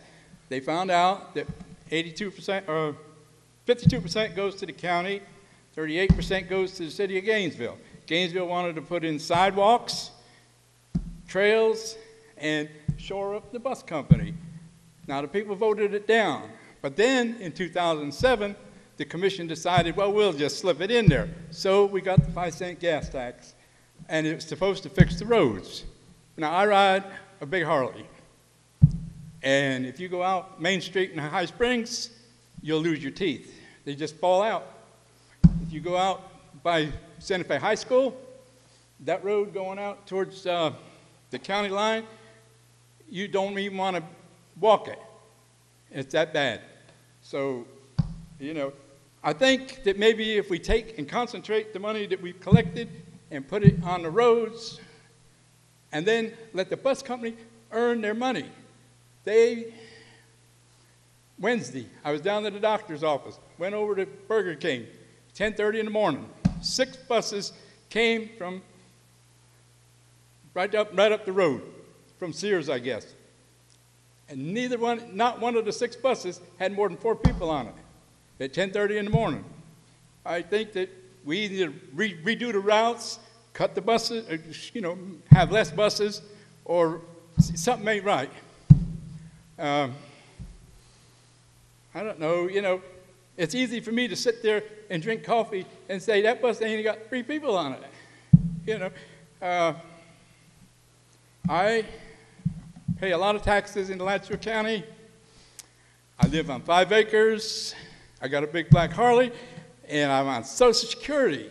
And the only reason I make that work is because I cut a lot of corners. Now, they did when they first got the money, the five cent tax, they did repay pay, Poe Springs Road. But before they got done, they took core borings in the road. There's one spot there that's got four core borings, six inch holes like this here, right in the road. Boom, boom, boom, boom. Uh, you really don't want to ride a motorcycle when you get out of Gainesville. That's the best I can tell you. And uh, I don't know, as far as the taxing goes, Mr. Pinkerton will tell you many times I've been there, and I'm saying that 50% of the property in Alachua County is owned by the churches and by the university. They pay no tax. We need to get these people to loosen up their money. They are all businesses. They're not, uh, they're not in it for the nonprofit. They should be paying their share. Other than that, you know, I'm just an old farm boy. I don't know what else to tell you.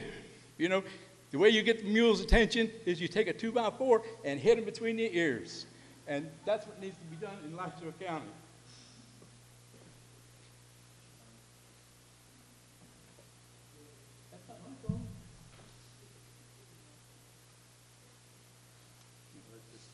Oh. And on that note, we start out with a full house. We all heard what had to be said. Thank you, all of you who have stuck around to the, to the bitter end. This is it for tonight. On June 4th, we will reconvene at the County Commission chambers. Everyone who was here tonight, if they gave us their email address, to get a, a specific reminder of that meeting it will obviously be advertised and so on and so forth. Thank you so much for sticking around with us tonight, and safe travels going home tonight. Good night, everybody.